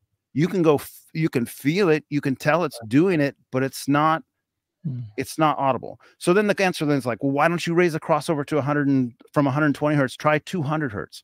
I did, but I don't like a 200 hertz crossover. That sounds No. cruddy for everything else. I'm not going to compromise the way everything else sounds for the directional bass. And it wasn't even subtle from there when I did a 200 hertz crossover. So, so long story short, um, it didn't make a whole lot of difference. Now, what is interesting, there's a guy named Nala on the forums, and he's doing tactile transducers with directional bass. Okay. Now, just for the same reason I'm telling you, it does physically work. Right. If you did it with tactile transducers, and he's putting a hover easy under each of his four foot on his chairs, and he's doing it for multiple chairs, that Mhm. is going to work. And he says it's awesome because your chair is lifting on the leg that's representing that where that sub is. So that's Mhm. a cool idea. It's kind of like a, a poor man's D box, if you will. yeah. Um, I don't know that I want to go to that extreme to try to set that up, Do it. but I think it's a cool idea. Yeah. I'm gonna push him. He's gonna do it. yeah. All you gotta do is challenge him. He'll be like done. Yeah, so so it's really funny that Hmm, video. I have the reactions of the guys that were over here, Tim and Sheldon, and most of the reactions were just like, "It's the same. I can't Wow. tell." And then the couple times that they thought, "I think I got it. I think I got," they were wrong. Yeah. you know, this is like the traditional blind test stuff that we're all we're all so guilty Yeah. of that you you can't. And even I'm gonna be I'm gonna I'm gonna wrap myself out. Right. one of the things when I was testing these things, my father-in-law law and I were doing the testing initially, and I didn't go through all the clips, all four of them, like real thoroughly 100%, like not in every case, like going back and forth and testing all the subwoofers and stuff.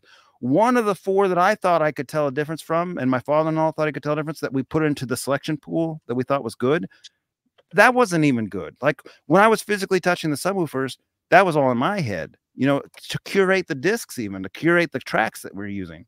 So so there was placebo all around. And then we it wasn't we didn't stop there. We listened to a bunch of other stuff. We listened to music. We played some uh ready player one they thought might be a good one with the monkey bouncing around king kong uh you know to see if that was directional no it wasn't directional so so long story short don't buy a receiver based on directional bass Mhm. alone it doesn't it doesn't pan out that way Yeah. Questions. I meant let's get to questions. Okay.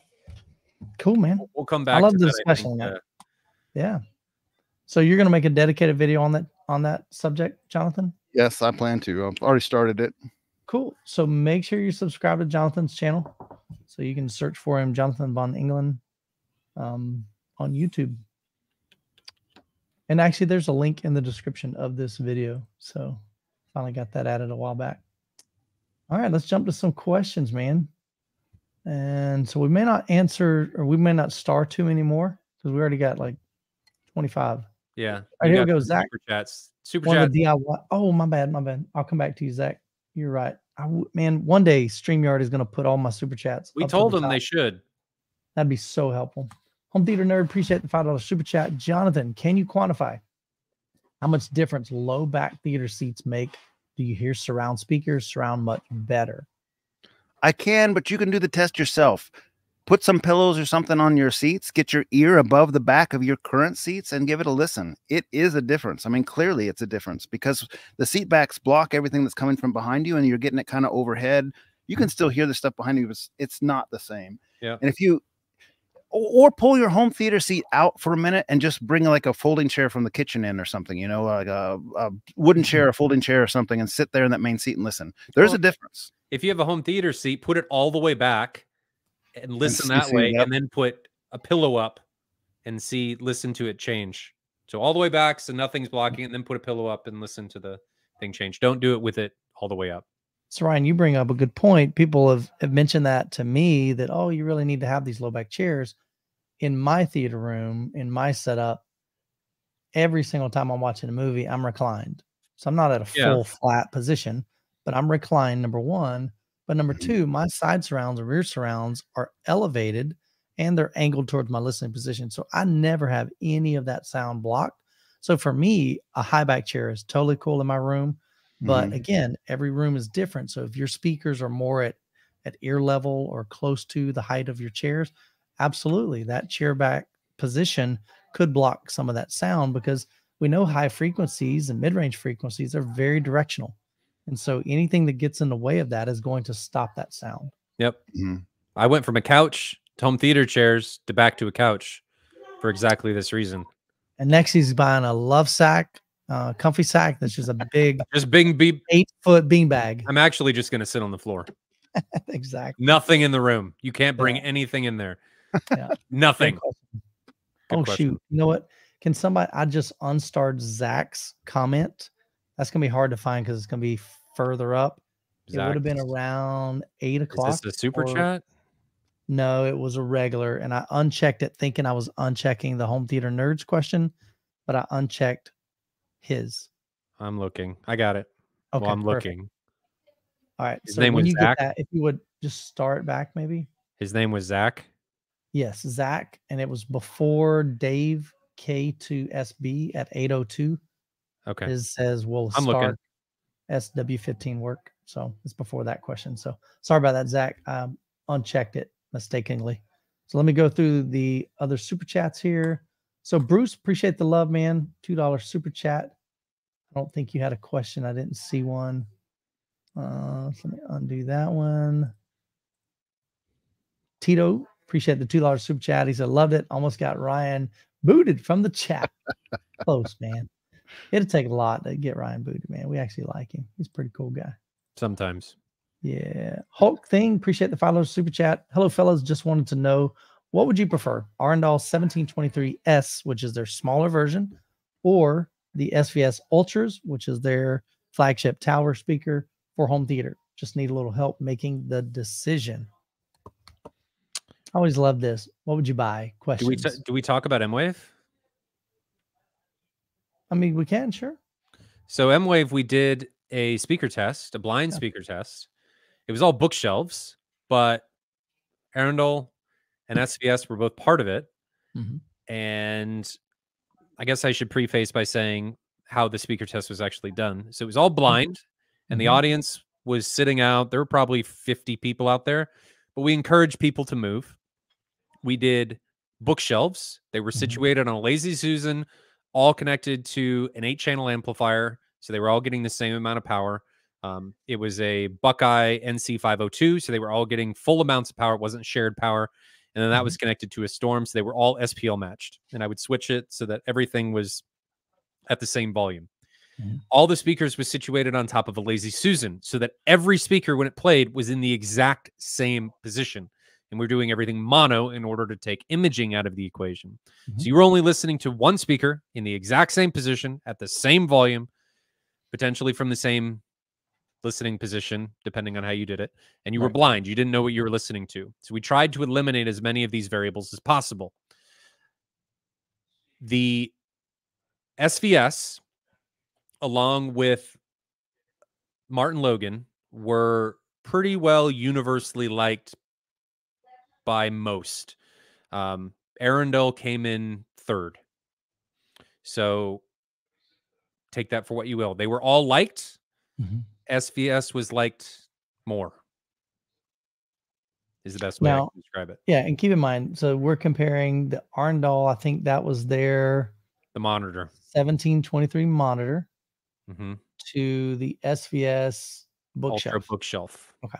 Yes. Yeah, because these are all bookshelf speakers. They weren't any towers. So I'm assuming when he says, "Well, I guess we don't really know. The SVS Ultra could be Ultra Bookshelf or an Ultra Tower." So I'm not be. sure which he's, he's interested in. Not sure. Um, so, and again, I would encourage you as best possible if you can find a way to listen to them, listen to them. They're going to have their own unique sound. You may like, you know, some people listen to SVS and say, man, that's perfect speaker to me. Some love Klipsch, some love Arendal, some love Martin Logan. Um, so it's, It's important to it listen. is- what's that? It's important to listen. Yeah, and so the good thing about the blind is it it takes our preconceived biases out of the equation as best as we can. So instead of saying, "Oh, I should like this," or "I'm not really familiar with this brand, so I probably won't like this," it kind of removes that. And so now you're just listening for the characteristics of the speaker itself and being able to make a decision on whether or not you like that. So, but yeah, super fun. So, are we going to have another speaker comparison? You think this year? I think so. I don't know Okay. why we wouldn't. Okay. Um, So, quick plug for M Wave, man. If you're not familiar with it, come hang out with us June the 21st through the 23rd. It's in Kansas City at the Kansas City Convention Center. We do three days of just hanging out, man, having some cool, cool demos from Dolby Atmos, full Dolby Atmos home theaters. We do some blind AV comparisons with projectors, with TVs. Um, yeah, I think they do those blind, right? I think they hide the logos. Mhm, I believe. mhm.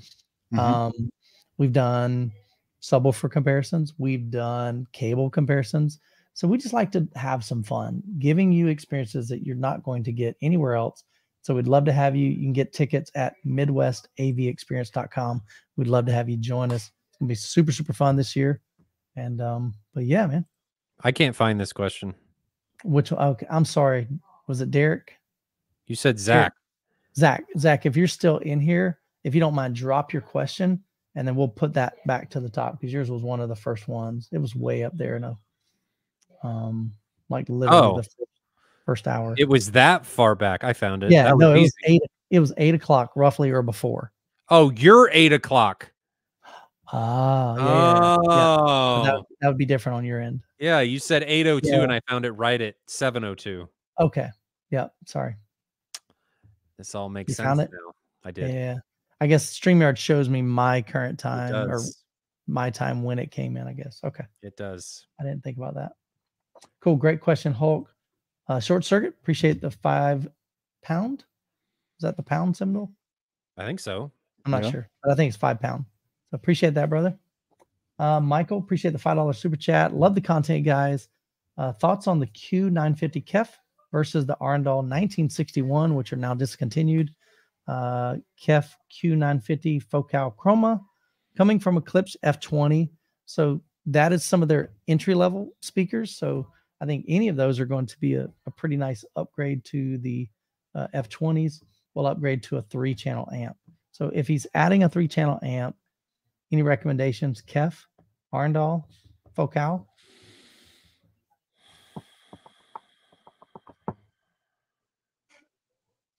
I would. I'm gonna with keep my mouth shut because this is where we get branded as some sort of elitist. Yeah, yeah, yeah. Uh, yeah. Okay. In your opinion, your personal opinion, which direction would you go? See, I Which do you can't- like the most? I can't comment on any of that because I haven't heard the 1961s. I haven't heard the Kefs and I haven't heard the Focals. So it's hard for me to, I don't ever try to make a recommendation on stuff I physically have not heard and preferably heard even in my own home.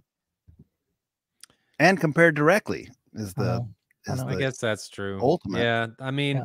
Michael, I would just encourage you to listen to them. Um, from experience, Kef and Arendal are going to be pretty neutral. Focal, Maybe a little bit brighter, right?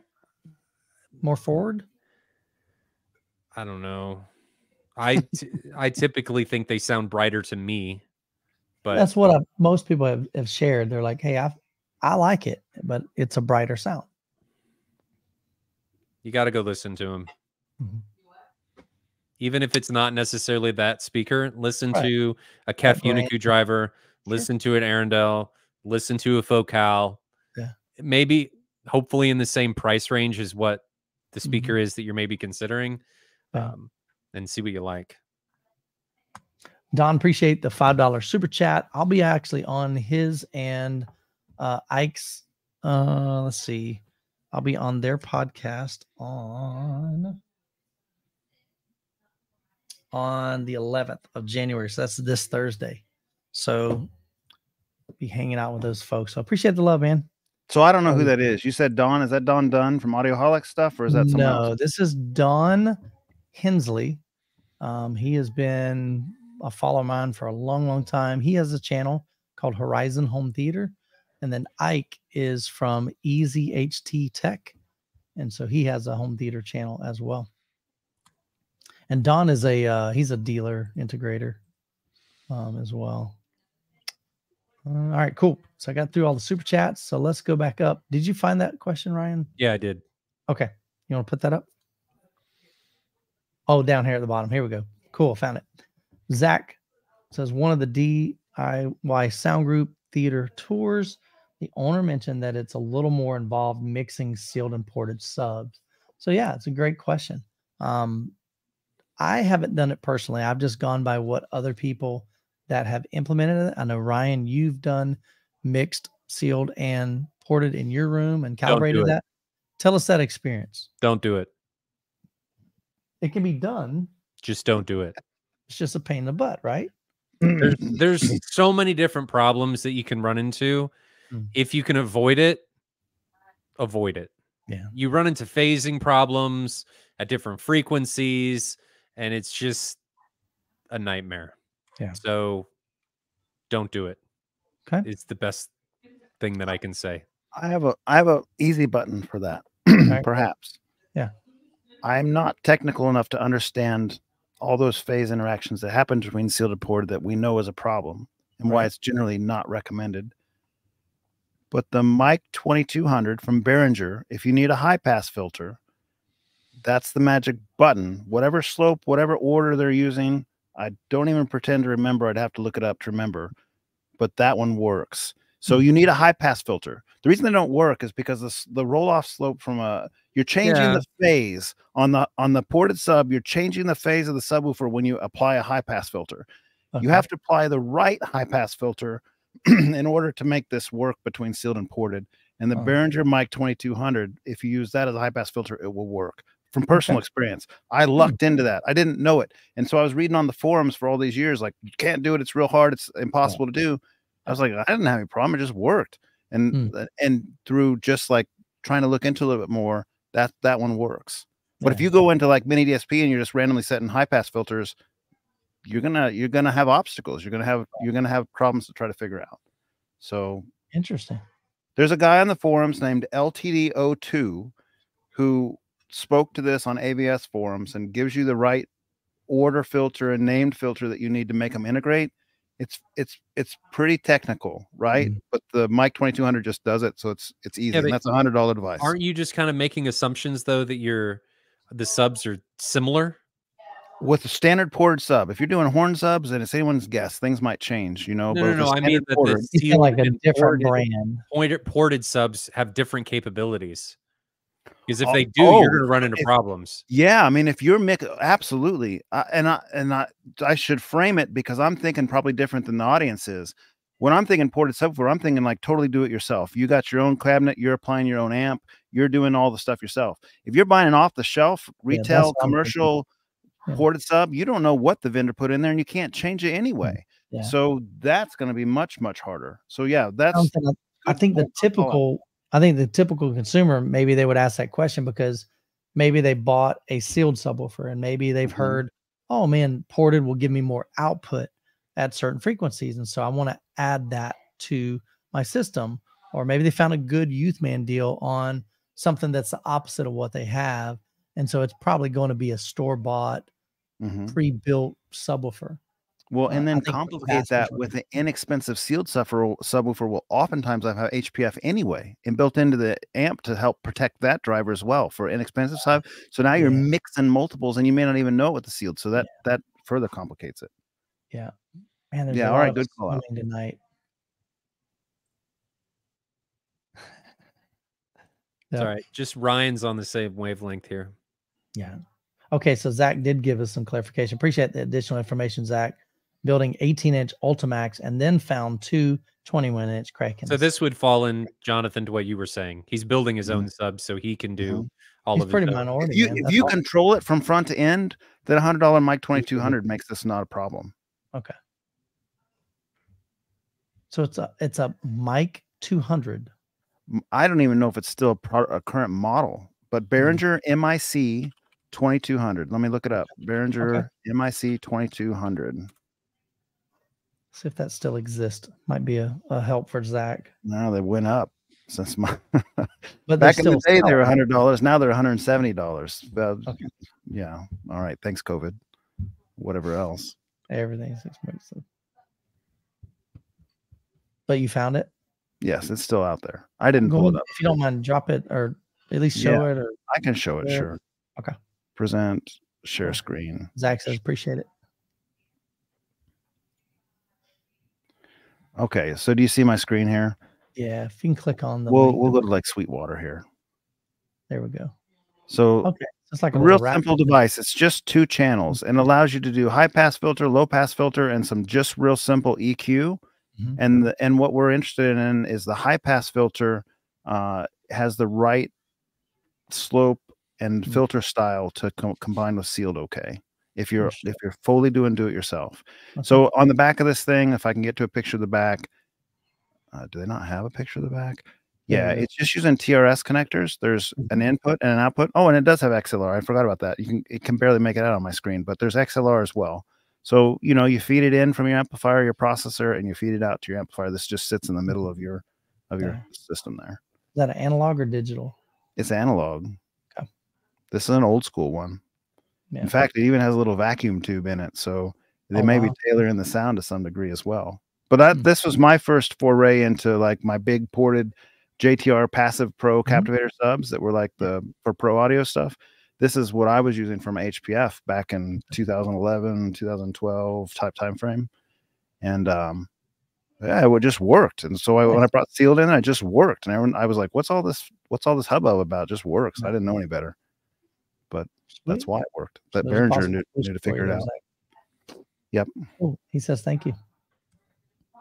Saul M, appreciate the five dollars super chat. How much delay does SVS wireless transmitters affect with miniDSP calibration? So he's talking about the the ability SVS sells a little transmitter that allows your subwoofer not to have a a a cable going to it, so you don't have the XLR or an RCA cable. So I looked into that delay at one point. It's advert. They they say actually they advertise that. Uh, if I guess, it, I mean I've read it. I just don't remember it. Let's look it up. It's pretty minimal, right? I think it's like 25 milliseconds. SVS um, wireless delay.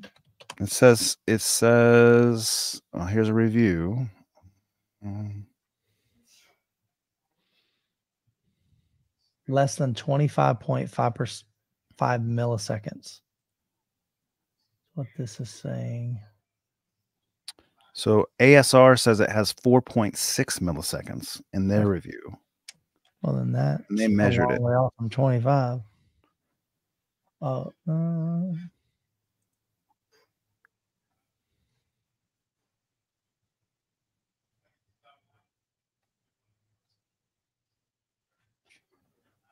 That is a long way off. SVS is advertising 25. it's it's in one of the forums on AV Nirvana. Where does ASR say four? Uh, in the review, in the first graph, 4.6 millisecond latency. Uh, It's measured on a scope. He says the performance is disappointing in text. What's he say Hmm. at the bottom here? So this one, Yeah, but he had them two feet apart. That delay is probably going to increase with distance. on this one here,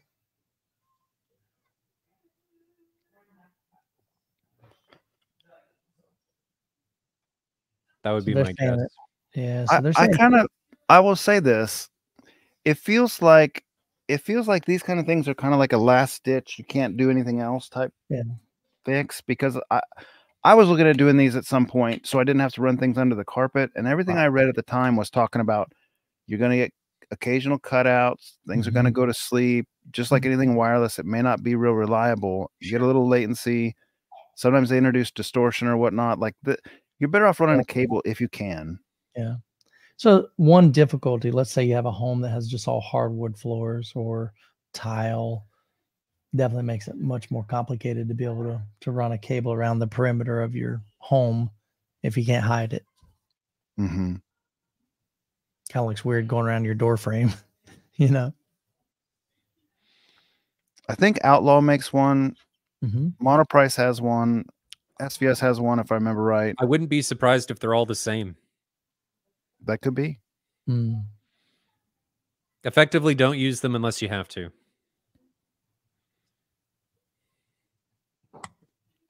Spliffy Bendrix, appreciate the five dollars super chat. Ryan, are you still a dealer for Buckeye? Need a three channel amp and not sure between a purifier or four channel Encore, uh, and just leave an empty channel. Thoughts? Encore and Purifi is going to be dictated based on what you're trying to use them for. Encore is really good. Purifi can just handle more loads and is going to be better distortion coefficient. So I would, it's depends on what you need. I needed Purifi for my Martin Logans. Mhm. Um, the Purifis technically have a better noise floor. So if you've got an ultra sensitive speaker, that can be beneficial. But send me an email. I mean, we can talk about it and we can see if what makes the most sense for you and I Mhm. can either sell you one or you can go directly through Dylan.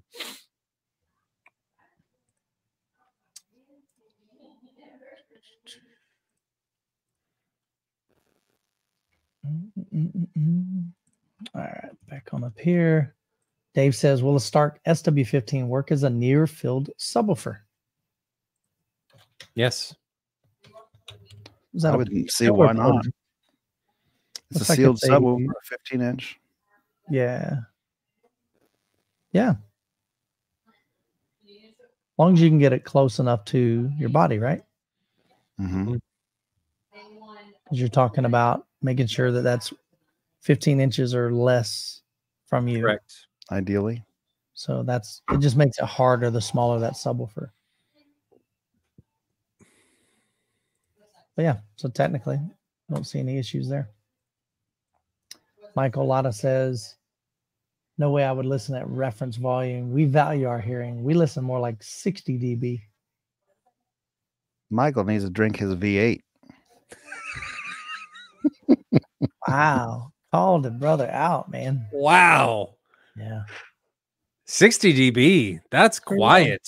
Yeah. I would talk louder than that when I'm sitting here talking to myself. What's going on Mhm. with that? yeah.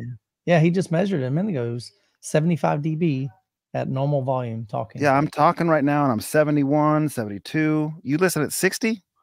You like talk, you just listen like this. in your room? That's how he likes watching the movies. It's just whispering. But again, I mean, it's his home theater. He can listen to it at Uh-huh. whatever volume. So I if you mean, enjoy fair it, enough. that, then that's great. If you invite me over, I may not come We're come back. turning it up. We're turning it up. The volume is very subjective. Yeah. I'll say that. You know, everybody's going to want something different. So, Mhm. Michael, you like it at 60? I do not. There's nothing wrong with that. Everybody is yeah. Have fun, man. The should important be happy in their subjective environment. Why are you shouting, Jonathan? Love it. Michael, appreciate the vote for M Wave 24. We're really excited for it as well. I'm not Um, starring anymore. Mazen says, yeah, as he just started another one. Mazen Well, says, does it is it worth to replace a nine channel AVR to 11 channel just for the additional surround back? So maybe going from a 5.2.4 to a 7.2.4 AVR.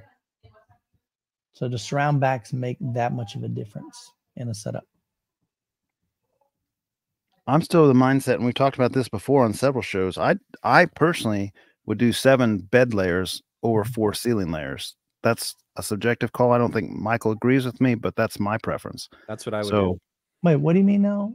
I i- if you were limited when he says 5.2.4, Right. if he's limited to nine channels, I would choose 7.2.2 over 5.2.4 Oh, I at see its current. Yeah. limitation. I So to me. I would say seven bed channels is more important than four heights. That's that's I- my take. I would differ than that. I just I wanted to clarify. I mean, I know you differ on that. Yeah. That's just I think it's. I think there's a lot of content that's mixed with seven channel speakers. It was like that for two decades, you know, Yeah. or or whatnot. Where that was the, the standard. Sure. That might be an exaggeration on time, but it was a long time that we had seven channels as the standard. So you're missing And that. so maybe it, all right. So part of that may come from me and my room because my rear surrounds are not set up the best location. They had to be mounted above my door frame.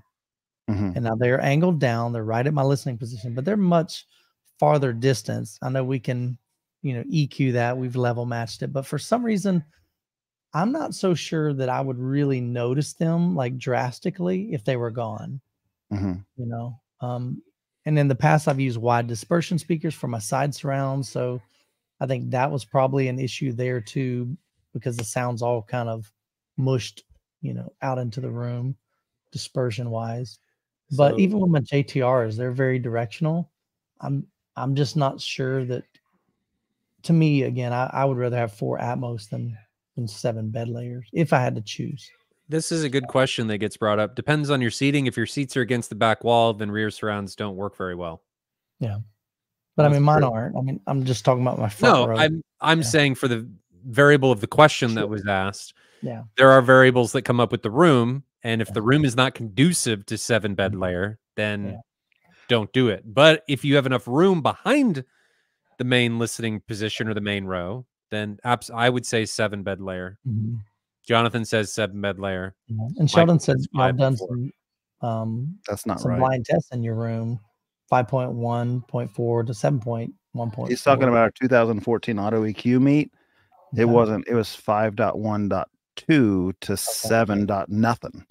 So it was. Mm, It was introducing the Onkyo, okay. whatever it was, the very first Onkyo, the cheapest budget entry that had uh, Dolby Atmos, Yeah. and it could only do two ceiling speakers. okay. Uh, and the other ones were, if they did it at all, they were up mixing it to the ceiling speakers, and so it was a. It wasn't four speakers that we were doing in that test. I mean, Nicholas also brings up a good point that generally, if you can't fit rears, you can't fit four ceilings. That's fair.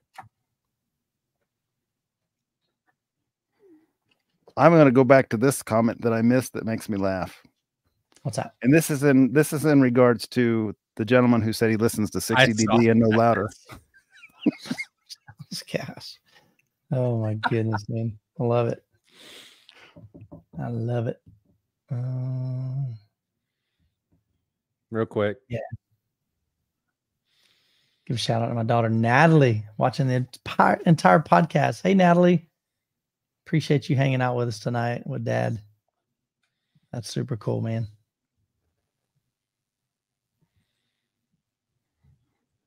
No, and Sheldon, the reason I know that that's the case is because at that time I only had those in-wall Sony speakers that were my ceiling speakers. I didn't even have like the extra Mackies up there. So I'm just reading the comments. Sorry, I'm t- talking aloud to Sheldon, saying that's Yeah. memory might be wrong. All right, Bruce says, uh, you guys saying that makes me feel like something wrong with me. Negative 10 feels like it's barely on. Wonder if it was Bruce former military or you know some some of the, I mean just honestly some of the guys over our experience with this stuff, guys that have had loud jobs and so forth in the past, they'll crank on that thing. Reminds me of the could have some Simpsons awesome. THX intro for movies. Turn it up. What? James says, how do you feel or how do you find reference level on your AVR? So we kind of covered addressed that. that. Yeah. That's got to be an old question. Hopefully, It- they are.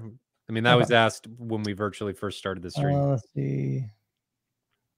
Yeah. So I'm going to unstar that one. Yeah. A lot of these are dealing with reference that we talked about. I think Bruce asks, asks a good question here, though. Would Okay. reference with speakers that can't handle reference cause damage? Hmm, to your ears or to the speakers. I would think speakers is maybe what he's asking. Oh, it can I'm assuming. Yes. Can it damage your ears? I don't know the answer to that. Actually, is it technically worse for your ears or just more annoying to listen to it if the speaker's distorted at that? Oh, level? you mean if it's distorting and if it's actually not that loud? I don't see that's going to. I don't have an answer to Oh, that. I Bruce would say no, but Oh, I see. I was wrong. I assumed. My bad, Bruce. Thanks for correcting me. He says um, he's a mechanic, and he says his his question is ears. Would reference with speakers that can't handle? Re- Cause Maybe. damage to your ears. I don't know. Anybody an audiologist? That's actually a great question. Can certain here's the they can't they can't reach reference anyway. I know, but th- if it's the distortion is hurting your ears, like it, you wince because the distortion, right? Mhm. Does that actually hurt your ears, or is it just annoying and uncomfortable? I don't know. I don't have. I don't know. That's interesting. Yeah, Aaron says I would assume volume is volume, which that, that would be me too. I don't Oh, I don't think distortion is going to impact your hearing, but again, I'm not an audiologist either. But good question. Bruce, uh, different Bruce says, what is the benefit of having two center channel speakers? Which Sony receivers offer this option? Or whi- he's asking a question, which Sony receivers offer this option? Because that's kind of a new feature that they've added. I'm of the mindset, I don't think adding two center channels is beneficial. If you're not, I mean, the only time I could ever see having two center channels, and that's if you could get them to play nice together and sound good and you don't have comb filtering and all that stuff, is if you have just a massive TV and you have no place to put a center channel, they actually But- do this. you know, above and below, Mhm. and you're trying to get that to image in the middle so that it sounds like it's coming from the middle. Mhm. Um, and I think that's what they're trying to do. How well that works, I don't know. Um, so have y'all had a chance to hear that? Not with the Sony ones, but I've heard dual channels top and bottom multiple times. And And it you in my it or no? point. Or I liked it. you liked it? Okay, interesting. I like it. I mean, it. The comb filtering doesn't bother me. I can't hear it if it's Interesting. I think it's integrated overblown well. concern on that. Yeah. What's that? Comb filtering concerns with that are overblown. Hmm, Every room I've been in with the like if you have a solid screen, it's not AT and your speakers are not behind the screen, Correct. and you just split the signal between top and bottom screen. Okay. It's it, on a on a microphone on my OmniMic. I measured Oh. a friend of mine's room, Randy, who does this with his theater, and it looks terrible. I mean, you got like like huge comb filtering. Sure. You don't hear it, and Mhm. and not only do you not hear it, multiple people in the 2015 sub or, s- or home theater crawl that we did said his room had some of the best center channel sound of anybody, Okay. and it measured like crud. Th- There's another thing where mics see and hear different than we with our ears Mhm. do. Okay. So one question I have with that is let's say you only have an AVR. Is it advisable to I would think it would not be advisable to hook two center channels up to your center channel output on an AVR. No. Is that correct or is that an incorrect assumption? Can it handle four ohms? Because most of the time you'd be knocking your eight ohm speaker to four ohms. Correct. If your A- can your AVR handle four ohms, so it's gonna have trouble or not. I mean yeah, most but of you'd also should be having problems if the distances weren't the same. You'd be creating problems with that too because you wouldn't be able to compensate for two different distances using one output. Sort of depends on how low the bottom is, right? Because it can it could be pretty close. It to the could. same distance. talking about Yes. your speaker wire? No. No, distant oh, speaker Oh, to the you. distances in The I- s- I- physical right, distance right. from the top and bottom speaker to your ear.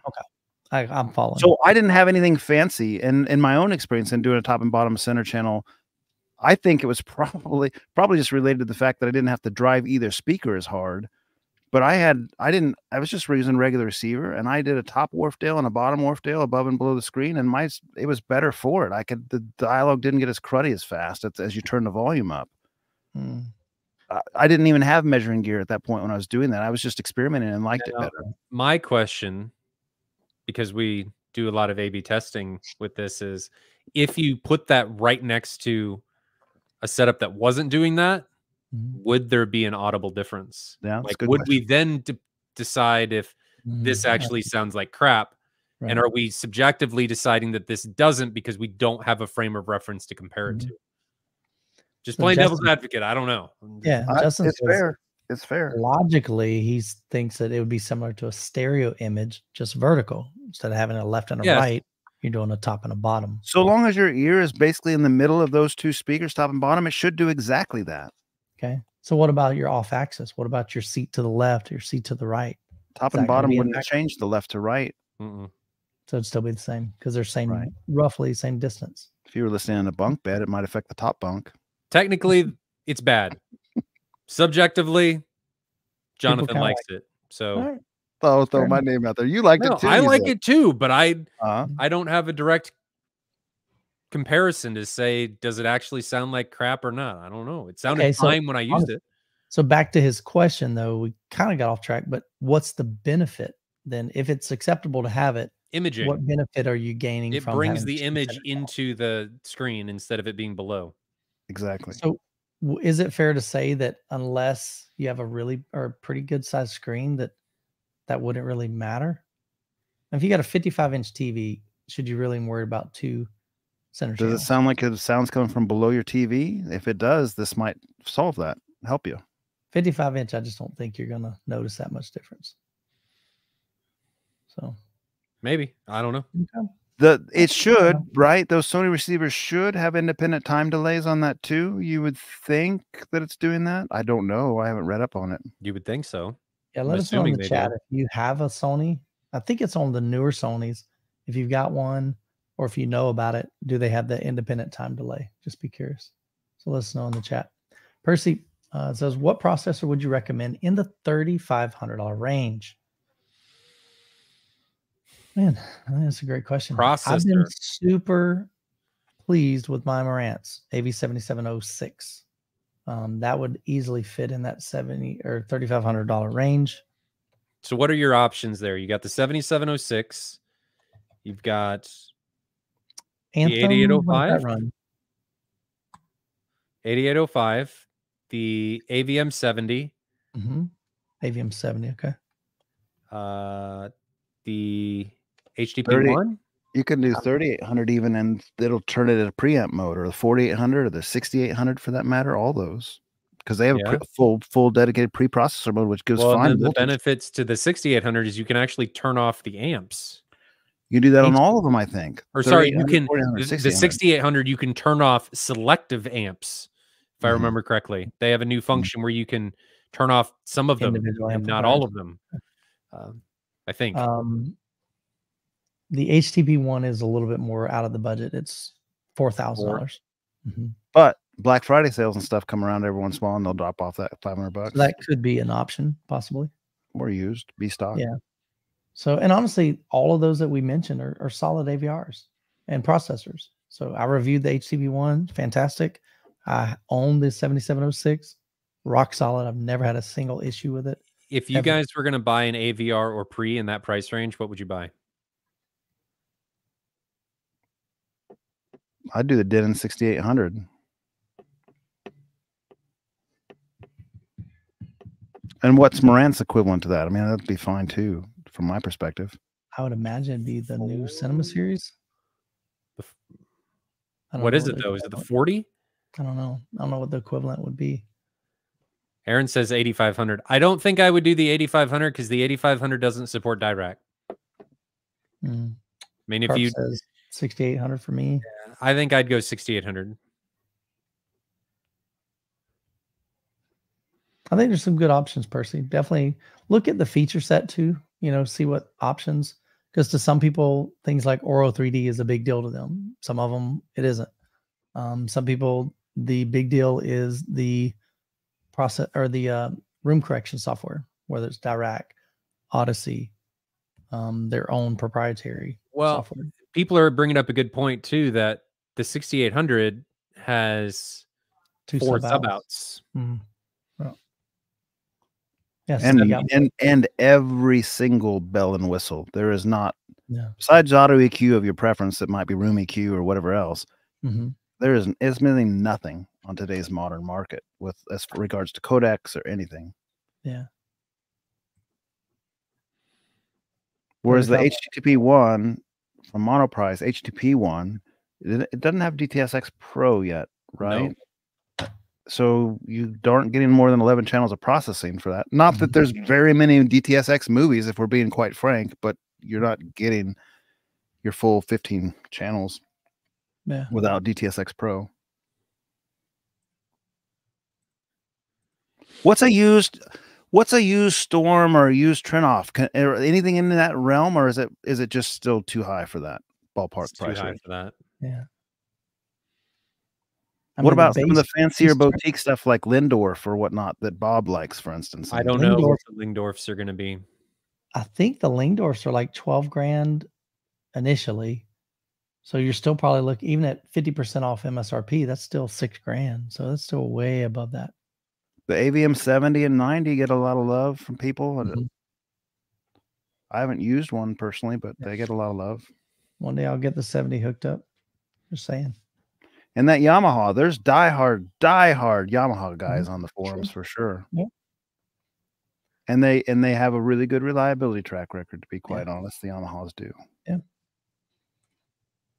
Chris says, do wall treatments affect any reference level settings? Yeah, they they uh, they they affect what you hear, but not so much what you measure. Think about a measurement being when you do a frequency response capture, an impulse response, or an SPL meter. It's the loudest sound that's getting to that microphone. There's other sounds, there's other reflection points that are coming in, second order, third order reflections, things are hitting other walls and bouncing back, but those are all underneath the highest reflection. So from an SPL meter thing, whether you have treatments on that second reflection point or the first reflection point, it's not it's not going to affect probably the out, output of the highest that's the direct wave from the speaker itself but it will affect what you hear very much so and how much maybe you like what you hear potentially Mhm. if you have a bare drywall Yeah. and it's three foot away when you cover it with treatment or don't it's going to sound different Yeah. Oh, very much so. It's fun And- walking into my room while it's under construction and listening to the sound change. So think about this too. So at reference, think about this. You're increasing volume. If you have a room that's bare with no acoustic treatment, really, if you're listening to it at moderate volume or kind of low volume, your speakers may sound good. I would think the louder you play it, the worse it's going to sound in your room because there's more reflections and more bouncing around and more um, frequencies colliding together. Is that a safe assumption? subjective safe assumption there's some subjectivity there right because that that is- creates a live sound some people like a live sound Okay. But generally speaking, subject. I agree with you. I would just say that would be subjective to some so degree. much like I've been in bare rooms. Well, Mhm. back up to my initial room, probably first several years, I didn't have any acoustic treatment in there. Didn't know any better. I actually thought acoustic panels were snake oil. I really did. Mhm. I'm like, that's stupid. Why would you put pieces of foam on your wall or, you Mhm. know, this insulation on your wall? That's dumb. They're just trying to get my money. And up until that point, I always struggled with my center channel. Just didn't sound clear. Mhm. And I was the guy that, you know, was boosting my center channel thinking, okay, I just need more volume. It's just not loud enough. So I'd boost it three or four dB and it kind of helped, but it still wasn't clear. And it wasn't until I added acoustic treatment that my sound cleaned up considerably. At least I felt that way. And so that's where that's coming from is if I were to crank it even louder in a room that does not have acoustic treatment, it would just make that even more muddy and, you know, harder to hear. So, but maybe if you like that live sound, then hey, go for it. It's your room. Bruce says, question How do you calibrate an SPL meter? we Okay, we talked about that one. Uh, okay. Power conditioner. Uh, Sascalant says, which power conditioner should I get? Panamax 5400 or the Furman PL Pro DMC 20 amp or no power conditioner at all? What's the PL Pro? I'm looking that one up. Furman. Furman's pretty reputable brand. brand. Furman Panamax. PL 50. They're the Oh. same company. Yes. Are they? Yeah. Furman Umbrella. and interesting. I did not know that. Did you find it, Jonathan? Yeah, but what I'm trying to figure out is like the 5400 from Panamax. That one's actually doing like active line. Conditioning. Yes, and I'm, and what I'm trying to figure out is if this other one is doing that Okay. Mhm. because there's a there's a difference there. What's the DMC 20 amp? Is that part of that model number, the Furman, or Yeah. That's a different brand? Okay. I wasn't sure if that was a different brand. I don't think it's I don't think it's doing the same thing. Mhm. I don't think it's doing the active line level conditioning that the Panamax is doing. Mhm.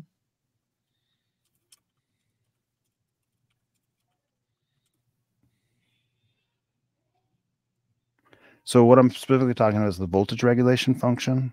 Okay. Um, like the Panamax is making a perfect sine wave out of your voltage. Like it's kind of doing what a active online UPS does. Mhm.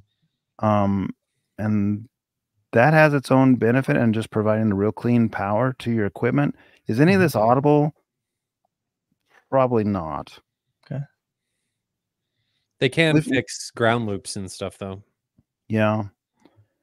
But don't think of it as like a like in car audio back in the days when you used to have like a one farad cap or two farad cap and your headlights wouldn't dim and your bass would be better. It's not Mhm. doing stuff like that.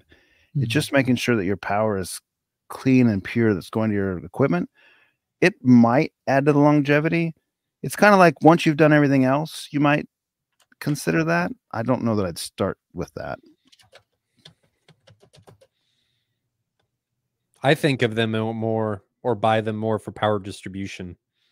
It's typically turning on and off things in Mhm. order, synchronized power Mhm. ons and stuff. I, I've told this before, and I and I have one purposely because I have a story that that makes me think they're necessary. I was in my basement in the old house watching a movie, and lightning was storm was going on outside. Lightning struck, all my equipment turned off. Mhm.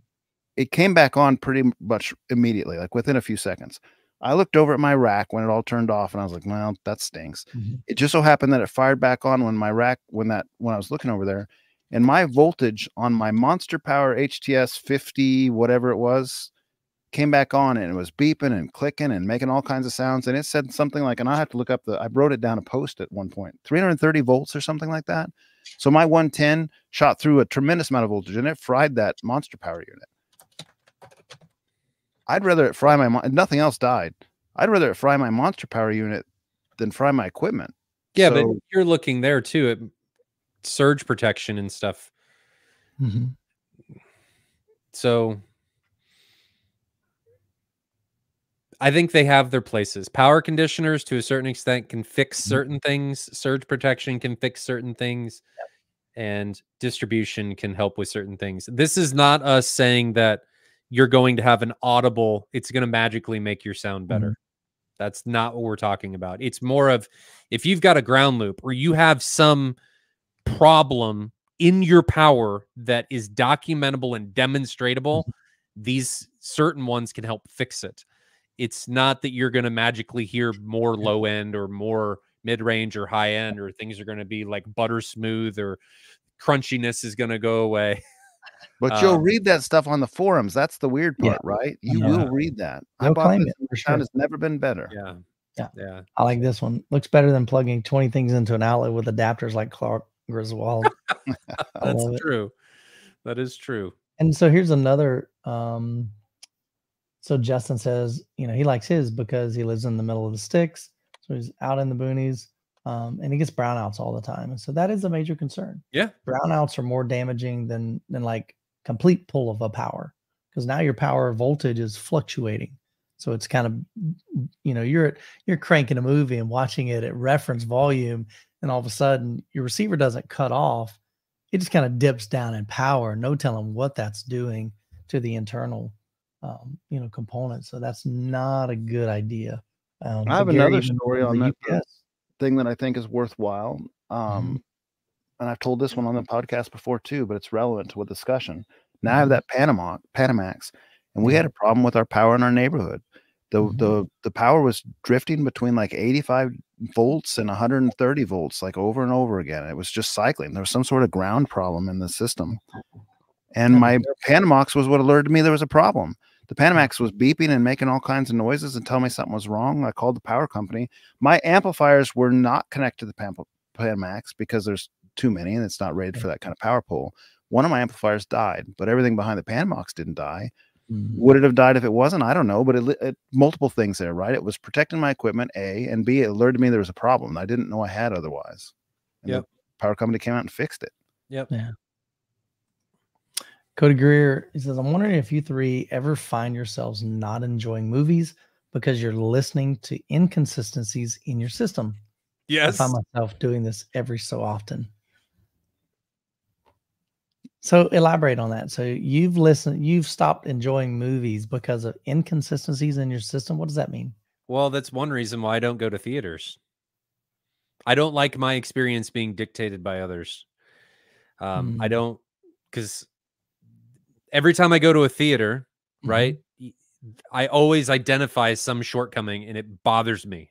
Yeah, but you're you're off topic. He says in your system. I, I I get that. I'm using that as an example, and then I come back to my system, Alright. and if something's wrong, like my wife hates it because I'll be I use my system a lot for testing and troubleshooting and stuff for other companies, and if I forget something or change something and I can't look past that and it bothers me and my wife's like what is wrong with you and I'm Mm, like, I have to fix this, and then she'll just get up and leave. So yeah. it's it's, it's hard for me because I know what it should be and can be, and if it's not doing that, then Mm-hmm. it bothers me. But if it's all behaving, Mhm. I don't know that any type of Okay. I don't know that I would have any inconsistencies if I haven't mucked with it. Yeah, I mean, I don't I don't stop watching movies because like Ryan said, I mean, if it's inconsistent, it's because it's something I did. I changed the setting in it and I know how to change it back. So I don't think my system's inconsistent. Um, it's either consistently sounding good or consistently not working right. And that's my fault, you know. Mm-hmm. Uh let's see. White glove. Oh, I, I, I no, I mean, I think that there's probably truth that in a lot of ways as you dig deeper in the hobby and you learn more about how things are and like Mhm. you're messing with this slider or that slider to like this might not be, you know, now you learned about HDR. Well, how does it look with HDR slider one and versus 4 You know, just you play with stuff a little bit more. It Yeah. doesn't prevent me from stop enjoying movies. I still love the hobby and still, you know, but but it, there's things that cross your mind certainly. Yeah. I just don't think it has hindered me from watching movies. I, I enjoy movies. White Glove Review says, Hey guys, I have a 7.1.2 50 50 UB projector. It's got the U 4700 from Denon, Klipsch speakers, and a sub. The end goal, 7.2.4. So he wants to add an additional sub and an additional pair of Atmos with a less than a thousand dollar budget. Should he get two more speakers, like in ceiling speakers? Should he get an amp, maybe an Emotiva Basics three channel for the front, or get the UM 1822 DIY and amp? I know what I'd go for. I know what I would do, Jonathan. You know what you would do? No, my my mind went down a rabbit trail. Let me catch up. Oh bad. Oh bad. Well, it's So- related to this question, but it's a rabbit trail. I'm not sure I want to bring it up or not. I will. Go ahead. You guys answer, and I'll bring up my rabbit trail. I'm telling you, I, doing the UM 1822, yeah, that you're going to get so much more value and benefit out of that massive upgrade than adding an amplifier. I mean, that'll be pretty minimal, if anything. Um, adding two speakers, I like having two speakers, but again, uh, dude, when you hit some serious power, some serious SPL, some serious low frequencies, that's pretty life changing to me in a home theater. Jonathan? Do I? This might be a deeper project product that I, or a topic that I want to broach right now, but the UM 1822 specs have changed silently Okay. along the way by Parts Express, and there's a thread on AVS forum that's exploring it. It's really disappointing. Mm. Really? Yes. Oh, So what changed?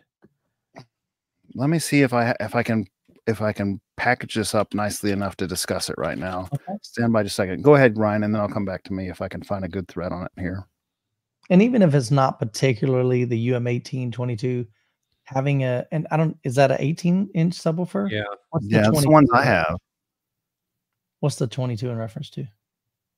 Uh, just the model number. It's UM eighteen twenty two. They have UM fifteen twenty two, UM twelve twenty two. It's just it's just whatever they Okay. named that thing. Yeah, but in general, 18 inch subwoofer, man, that would be much bigger impact typically in the system than adding two Atmos, or adding an amplifier. Oh, Unless your speakers are just really, really needing power desperately, but that basics isn't going to to make a massive difference. Let, let me share this and i and i hesitate to share this in some ways because i don't want to disparage something that i haven't measured individually but there's guys on the forums that have pointed this out and parts express did it themselves so mm-hmm. boo to them mm-hmm. present share screen one Oh, second I think it we comes. should state that we had Yeah, we haven't tested none. it. None the three of us have verified this. No. well so the guys on AVS forum have No, but with us three have not. Now AVS may have, but and and parts express has different parameters up on their website secretly changed and here's here's an hmm. example of it this Can is you a zoom in here. Yeah. This is a PM conversation with somebody asking me about the the, the stuff we're talking about, uh, or we're conversating about this kind of thing. So here's this is a UM 1522. So this is the little brother to mine. Instead of an 18, it's 15. This is the 2021. This is using the Wayback Machine Parts Express webpage on the specifications for the driver. And this Mhm. is the frequency response. Uh, I can't really read this. This is 50, 40, 30, 20. So you can see 20, it's kind of blurry, even on mine on the source, it's probably really blurry for you guys. But basically, this left line is 20, and this is 100 hertz, and then it's going way higher for some reason. This is one kilohertz. This is the frequency response of the one of the 15 inch driver of my variety back in 2021, the specs. Mhm.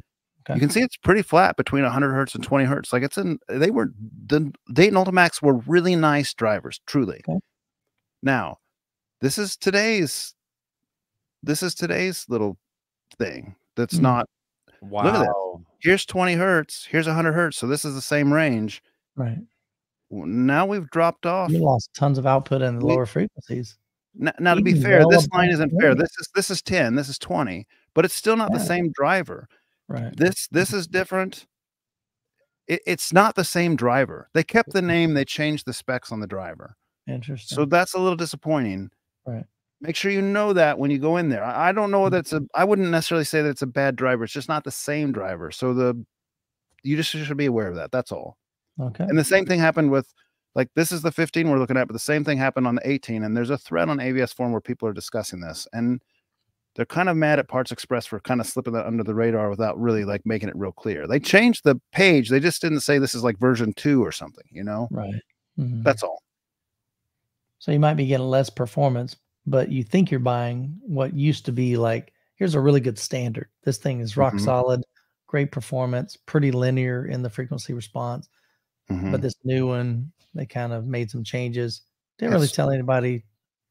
Yes, the guys are kind of acting like this is maybe a little bit more like a cost cutting measure than a than an upgrade. You know what I mean? Like it's kind of the same price, it's the same name, but it doesn't Mhm. perform quite as well. Uh, they're saying even the the Yeah. excursion isn't quite as much as it used to be. Like it used to exceed its rated excursion, and now some of the guys are saying it's doesn't meet it or it's close to it instead of exceeding it. So it's it's kind of a downer That for the guys, you know, that have discovered this. Do I know when the change occurred? I don't know, Zach, but Mhm. clearly it occurred between 2021 and now because if you use a Wayback machine, there's only a couple snapshots on these things. Go to Wayback machine. You might be. I only looked at the 15. Mhm. Um, the thread might have more information on. it. I haven't read the front thread front to end. Yeah. but but it happened somewhere in the last couple of years. Okay. So Percy, we answered the other question, but uh, we'll just talk about the second part. Jonathan, you plan on doing any more LS twelve thousand videos? I do have one more I'm planning to do still. Okay. It's it's been delayed forever because I don't have a good way to film it. I'd still like to do it. I'm prob- I'll probably end up just doing a compilation one. I want to do a black level one, but I can't compare it easily because the camera jacks up. Mhm. It makes the if you're trying to do the real dim dark scenes that the JVC is superior at, Yeah. it makes the Epson look so bad on the camera, like it makes it like fluorescent blue that you Oh, I can't I can't show what you really see. Yes, the Sure. JV superior, but it's not like JV or the Epson isn't making itself fluorescent blue in those Mhm. scenes, but that's what the camera's picking up. Your camera's picking that up. Yeah. So uh, instead, we did an AVS forum shootout. Uh, Chirpy came over, Ryan Kramer came over, and we did it with his nice fancy camera, so we could just do a comparison of pictures of black level that show it pretty clearly. Mhm. I, I'm having trouble getting the video on it, so it'll probably just be more of a summary video. And then I got to sell that JVC. I've said that for two years, and here it is. I got to sell it. Oh wow. Let's sell the JVC. Which one? R uh, NS NZ7 RS2100. All right. A couple more questions. Nicholas, good to see you, buddy. Uh, says when Tony had a Marantz, all this JTR, his JTRs went to negative 12 after Audyssey, but measuring with his UMIK to confirm, verify they were all correct at 75 dB. So it basically bottomed out, but it was just enough to meet that 75 dB. So interesting. I I I would read that to him. I think Tony and Nick are probably trying to say that it was adjusting it, even though you couldn't see it with the GUI, it was getting it to the right level. But I think that oh. might have been it, it could be receiver dependent. With my Onkyo 5508 mm-hmm. back in 2011, 2010, 2012 timeframe, I had the JTRs in my room. Maybe it was 2013 or 14. I don't remember the exact year. In that time frame, 102 dB sensitive, small listening range. They were mm-hmm. way too loud. I had to buy those 10 dB or 12 dB attenuators, and and with my SPL meter with my OmniMic at that time, as I was testing with mm-hmm. it, I had it. It was not. It didn't calibrate it correctly. So to so if if Nicholas is suggesting that it calibrated it like it, it, went ahead and did it even though the GUI didn't show it. Mine didn't on the Onkyo 5508. It was too loud and there was no way to turn it down. And that's why I had to get the attenuators. So so your mileage might vary mm-hmm. based on what receiver you're using or processor you're using, whether it's doing it behind the scenes and can't show it, or whether it's just not doing it because it can't do it. Does that mm-hmm. make sense? Yeah. I thought that, that Denon Marantz only did a maximum of 12 dB cut. Uh, the uh, Onkyo does for sure because that was what I had at the, as a processor at the time. It, it was showed negative 12 because that was the most it could do. And it was, it was too loud. Like it didn't, now, it didn't correct it and have 12 showing. It would just couldn't can, correct it. I don't remember what the maximum value you can change it into the MultEQ-X Pro mm-hmm. was. I don't remember if you could go past that. You can limit it, but I don't remember if you could go past that. More of the higher end stuff, theoretically, you can go into infinite cut, but I mm-hmm. don't I don't know what Denon Marantz can change yeah. to in the MultEQ-X Pro versions. Maybe somebody. You, you think you could change it beyond what the GUI shows in the multi? I don't know. I don't, I don't know either. I don't know if the if the the MultEQ-X is if it has different parameters than the negative twelve. I probably I should have bought that on the Black Friday sale. It was down to 150 bucks, I think. I have a license for you, Jonathan. Yeah, hook you up, man. He's offered that several times. Doesn't want Take it. Him up on his offer, man. Make some videos on it. Teach people how to use it. Mm-hmm. Tell them if it's worth it. It's right up your alley. Good content. Go subscribe. Hit the like button. Share the video. What's Ryan doing over there? I don't know. Oh, uh, he's getting tired, man. It's almost three hours. Uh, Jeffrey said, last couple questions. Jeffrey, what bang for your buck amps would you recommend to power multiple JL subwoofers? Doing a DIY sealed in wall setup with these. What's the bang power handling on those? What do they even need? And bang for your buck. What does that even mean? 13 so, TW5. 13 TW5 JL audio specs. Those are let's see. So that's a, a real thin $850 sub. And the specs on that one, you're looking at 600 watts continuous. Um, recommended RMS. It's a two ohm subwoofer though. So keep that in mind. So two ohm, 600 watts continuous. What's he looking at? Budget. So that, I'd, go on, I'd go on eBay and buy a Crown XLS 402, 802, 602. They're nothing. They cost less than $200 and they mm. and they'll do everything you need it to do. eBay. But then aren't you going to run into a pass filter down low where it's going to most of those crowns and pro amps and stuff are gonna not those not those particular models. You're absolutely right on the DSP models, but those don't have DSP. Oh, then you're fine. They're just old school, old yeah. iron amps. What yeah. about the iNukes?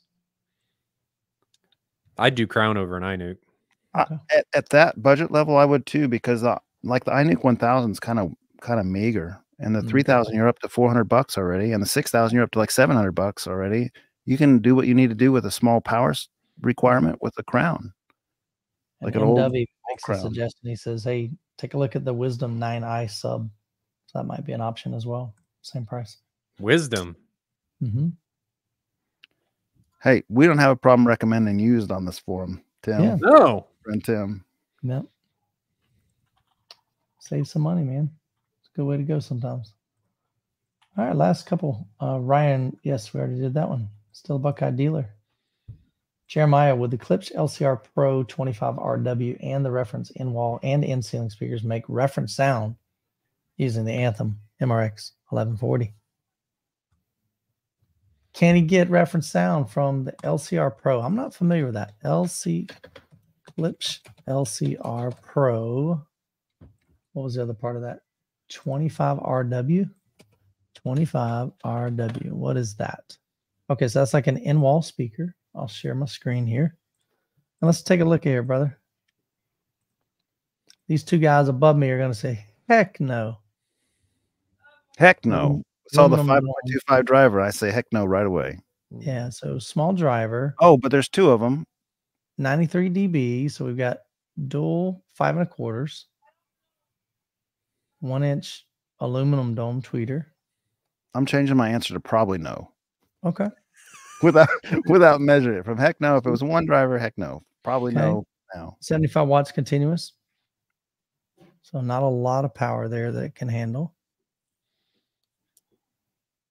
We'll just do the rough calculation. You got 95, 93 dB sensitive at one meter.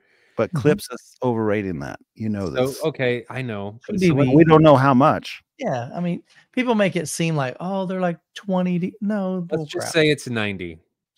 I don't even think it's that much difference. Let's let's say it's 90. Erin's audio corner said I think they average four to six on the Klipsches he's measured over overrating. But I don't know Okay, about this model. So let let's just say 90 and give them the benefit of the doubt.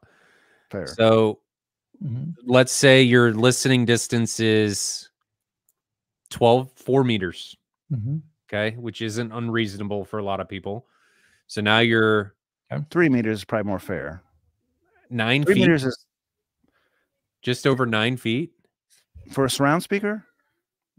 oh okay surround Not speaker sure okay so you're at three meters so you're down 6 db then you're down 3 db so we're down 9 db roughly. So 90 so we're at 81 now we've got to get back to 105 so 91 81 at 1 watt.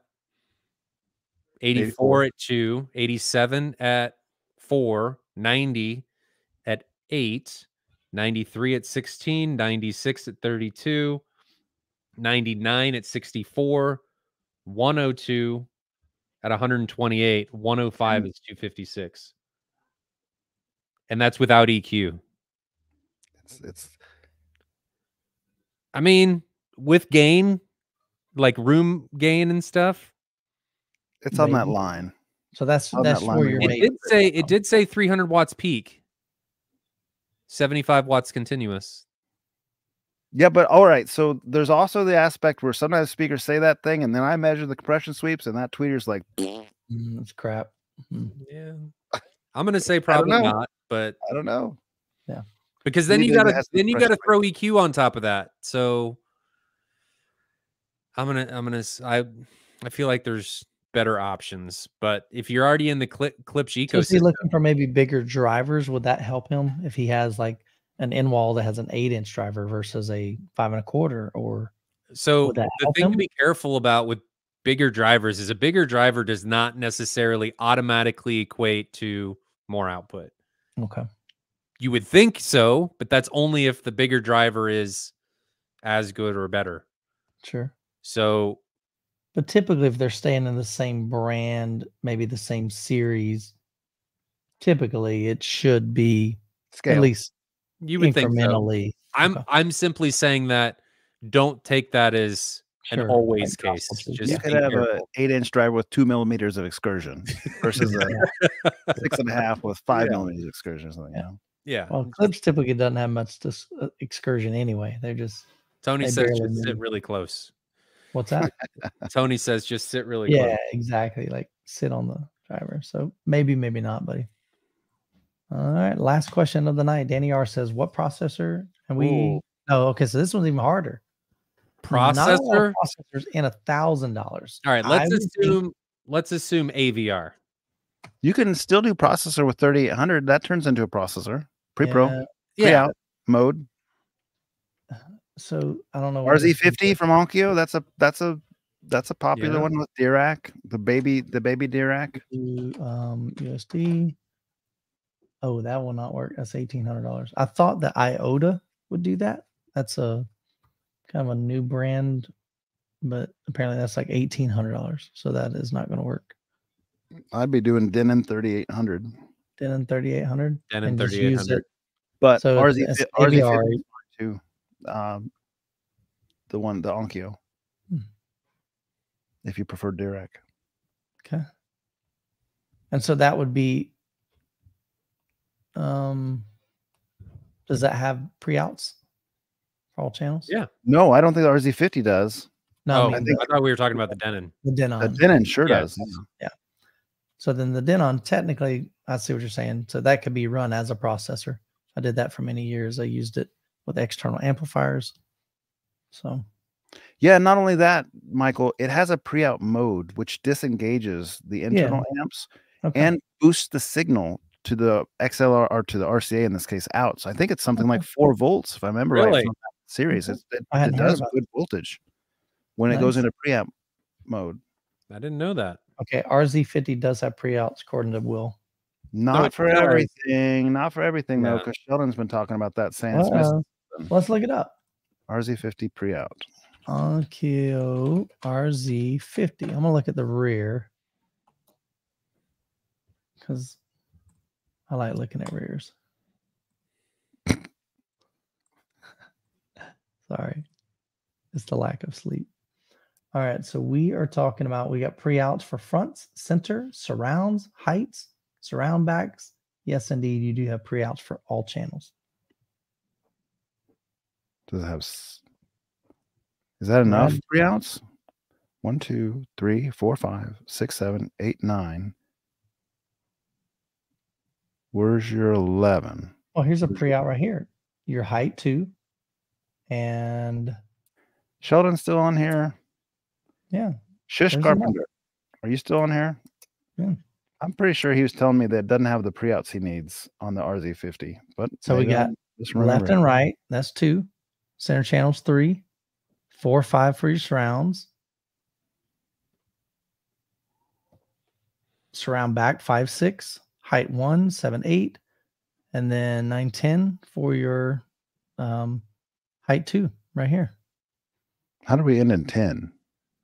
Well, Magic. There's one subwoofer. No, yeah, because yeah, no, no, because you should have 11 channels of processing one, beyond the two, sub. three, four, five, six, seven, eight, You're skipping your nine, center. 10. I must have said something. Yeah. So one, two, three, four, five, six, seven, eight, nine, 10, Okay, 11. there So go. there's 11. So I just All didn't right. count. I stand corrected. So the Good we did it RZ live. indeed do have processor or pre-outs for 11 channels. Yeah. Billy um, Billy P says I have the RZ50 and yes it has all pre-outs. Oh, Stitch said he thinks Carp wanted wides. So it does you you notice here it's got pre-outs for there's like a zone 2 but maybe internally in the Onkyo, you can't use that as like you can't add that together. Like you can't use front, center, surrounds, height one, height two, surround backs, and wides. It might be a either or. Does that make sense? Because again, this is a this is 11 channel. So technically, it's a 9.2 channel AVR. So that's internal power but it's 11.2 processing more than likely. And so you can't do front wides with all of those other speakers because then you're looking at 13 channels and it just can't support that. That would be my, yeah, it's 11 instead of 13, correct. So maybe you think that was what he was wanting to do? I don't know. I must maybe misremembering. He's not commenting on Yeah, the text him. dropped off. Sheldon, what were you thinking, man? What are you telling me, man? Right. Don't be misleading us. So, good to look it up. So This sounds familiar. Did I mess this up once in the past too? This, I feel like stuff, I feel like I got corrected on this RZ50 once before. Yeah, I don't know. Not talk about it anymore. No recommendations. clarify, get that get that in line. Cool, man. Well, we had an awesome show tonight, man. Two hours, 40 minutes, 250 people continuous through the literally the whole stream. It's been great. Um, you guys have asked some great questions, had some good interaction, had a great discussion at the beginning. So hopefully you found value in this. Um, again, we're on Spotify as well as Apple, thanks to Ryan. So appreciate him setting that up. And so we've got two episodes, or we'll have two episodes on there. We've got the original one from last week, and then this one will be the second week. Ryan, I think you said that kind of the way it works is that um, the following day pretty much will be the I'm gonna try. audio version, maybe. I'm still getting used to how long they take to process, so I'm Mhm. going to try. It Okay. may be Tuesday. okay. So a day or two after the podcast on YouTube. Yeah, once I figure it out, it should Okay. be pretty consistent. Um, before we jump off here, I want to get back into suggesting a movie. Like oh, we know you're not going to watch it, Yeah, so you're Hey, not. but I allowed to. sound excited though. I mean, I just I want to sound like I'm engaged, but I'm like, dude, I ain't watching that. All right, man. I right, got enough stuff to Jonathan, you got anything you want to watch? Nothing, nothing on the tip of my tongue. Honestly, you know what I want to watch? And I've already seen it, but I want to see it again. What? Zero Dark Thirty. I don't know if I've even seen that. It's about the Is that are, are they fighting on a roof through a good portion of that movie? Yeah. I have It's- seen it then. It's where they uh, went after Bin Laden. Let's see. What do I want? What do we want to watch? Thirteenth Warrior, Dark Cities. I love Thirteenth Warrior. That I've said that in a previous podcast. One of my favorites. What about the original Tron against Tron Legacy I've never seen the original Tron. and do a compare comparative? So now you got to watch two movies. Yeah, but I'm, unless Jonathan can come up with something, He said fighting on the roof was 13 hours. I, I the original Tron sounds fun. I don't know if I'll watch both, but I'll watch the original Tron. I love Tron Legacy. That's not that. That's a favorite. Yeah, That's I like top. Tron Legacy too. Michael I haven't seen watch the original Tron in a long time. Is it cheesy? Is it full of cheese? The Wait, original Tron Legacy was remed redone in HDR. Yeah. What? It was That'd be pretty cool when? on a Tron 1 is a OLED or better something. movie. Tron 2 better for graphics. When did when did that happen? Look at all these comments. They're saying the original Tron's great. They said Tron is amaze balls, man. Somewhat 80s cheesy. 13 hours was this? 80s see. cheesy's okay. Uh, Tron 1 isn't cheesy. Oh, Oh man. oh, so there's supposedly a Tron Legacy in 4K HDR mhm. and IMAX Open Matte somewhere. I might have to go down a rabbit hole. Open Mm. matte. I should know what that is. Maybe what is that? I What think we it's talking just the mastering for the movie. Mm. I'm gonna have to look, see what I can find. It was a fan thing, but some of those fan things, Ryan, can be really good. So I gotta see if I can find it. That'd be super cool. We'll find out. I guess we'll do Tron. I'm gonna watch both. Jonathan, if you would like to watch both, great. Michael, we know you're Watch not gonna watch it. I'm gonna watch a home theater tour that I'm editing. I'm gonna watch a. Uh, I've got some Edifier headphones that I've got in for review that I've already written my review on that, so I'll be watching that. Uh, there's a lot of stuff I'll be watching this week. Michael sounds like he's just gonna be watching himself. And sadly, it's true. That is I- true. I'll I'll pick up Tron. That'll be fun. Didn't I? Wasn't that one of the movies you got from me? Oh, the No. original Tron. The original, original Tron. Yeah. Um, you maybe No, but I can just buy it. I I'll just rent it on Amazon or something if I need to. I don't have it. Okay. I get to A lot watch of love, a lot of love for Ultron movies in the comments here. A lot I of get to watch Yeah. another movie on my lot of folks computer. We're digging it. Yay! Said- Stitch said he thinks it's on Disney Plus. Oh, well, that makes it real simple. Makes it easy. Ryan, if you're gonna call me a narcissist, at least learn how to spell my name. Wow. Burn. Bam. That was a good one. Just kidding, brother. But you know, it's interesting. I've seen more people write McKeel for the spelling of my name, and I have yet in 48 years of living on this planet Earth, I've yet to meet one person that spells their name McKeel ever. But yet, a lot of people think that's the spelling of it. They're Kinda just afraid you're going to hurt them. I don't know. they don't tell you. No, it's McKeel. But that. Michael. A E L. Excuses, Ryan. He's one hand typing while bleeding out of the other hand. I hope you didn't hurt yourself, man. Okay. He's got that cool home theater he's building, man. He's probably cutting cutting some wood or something. Wheat. Hope you didn't lose a finger, man.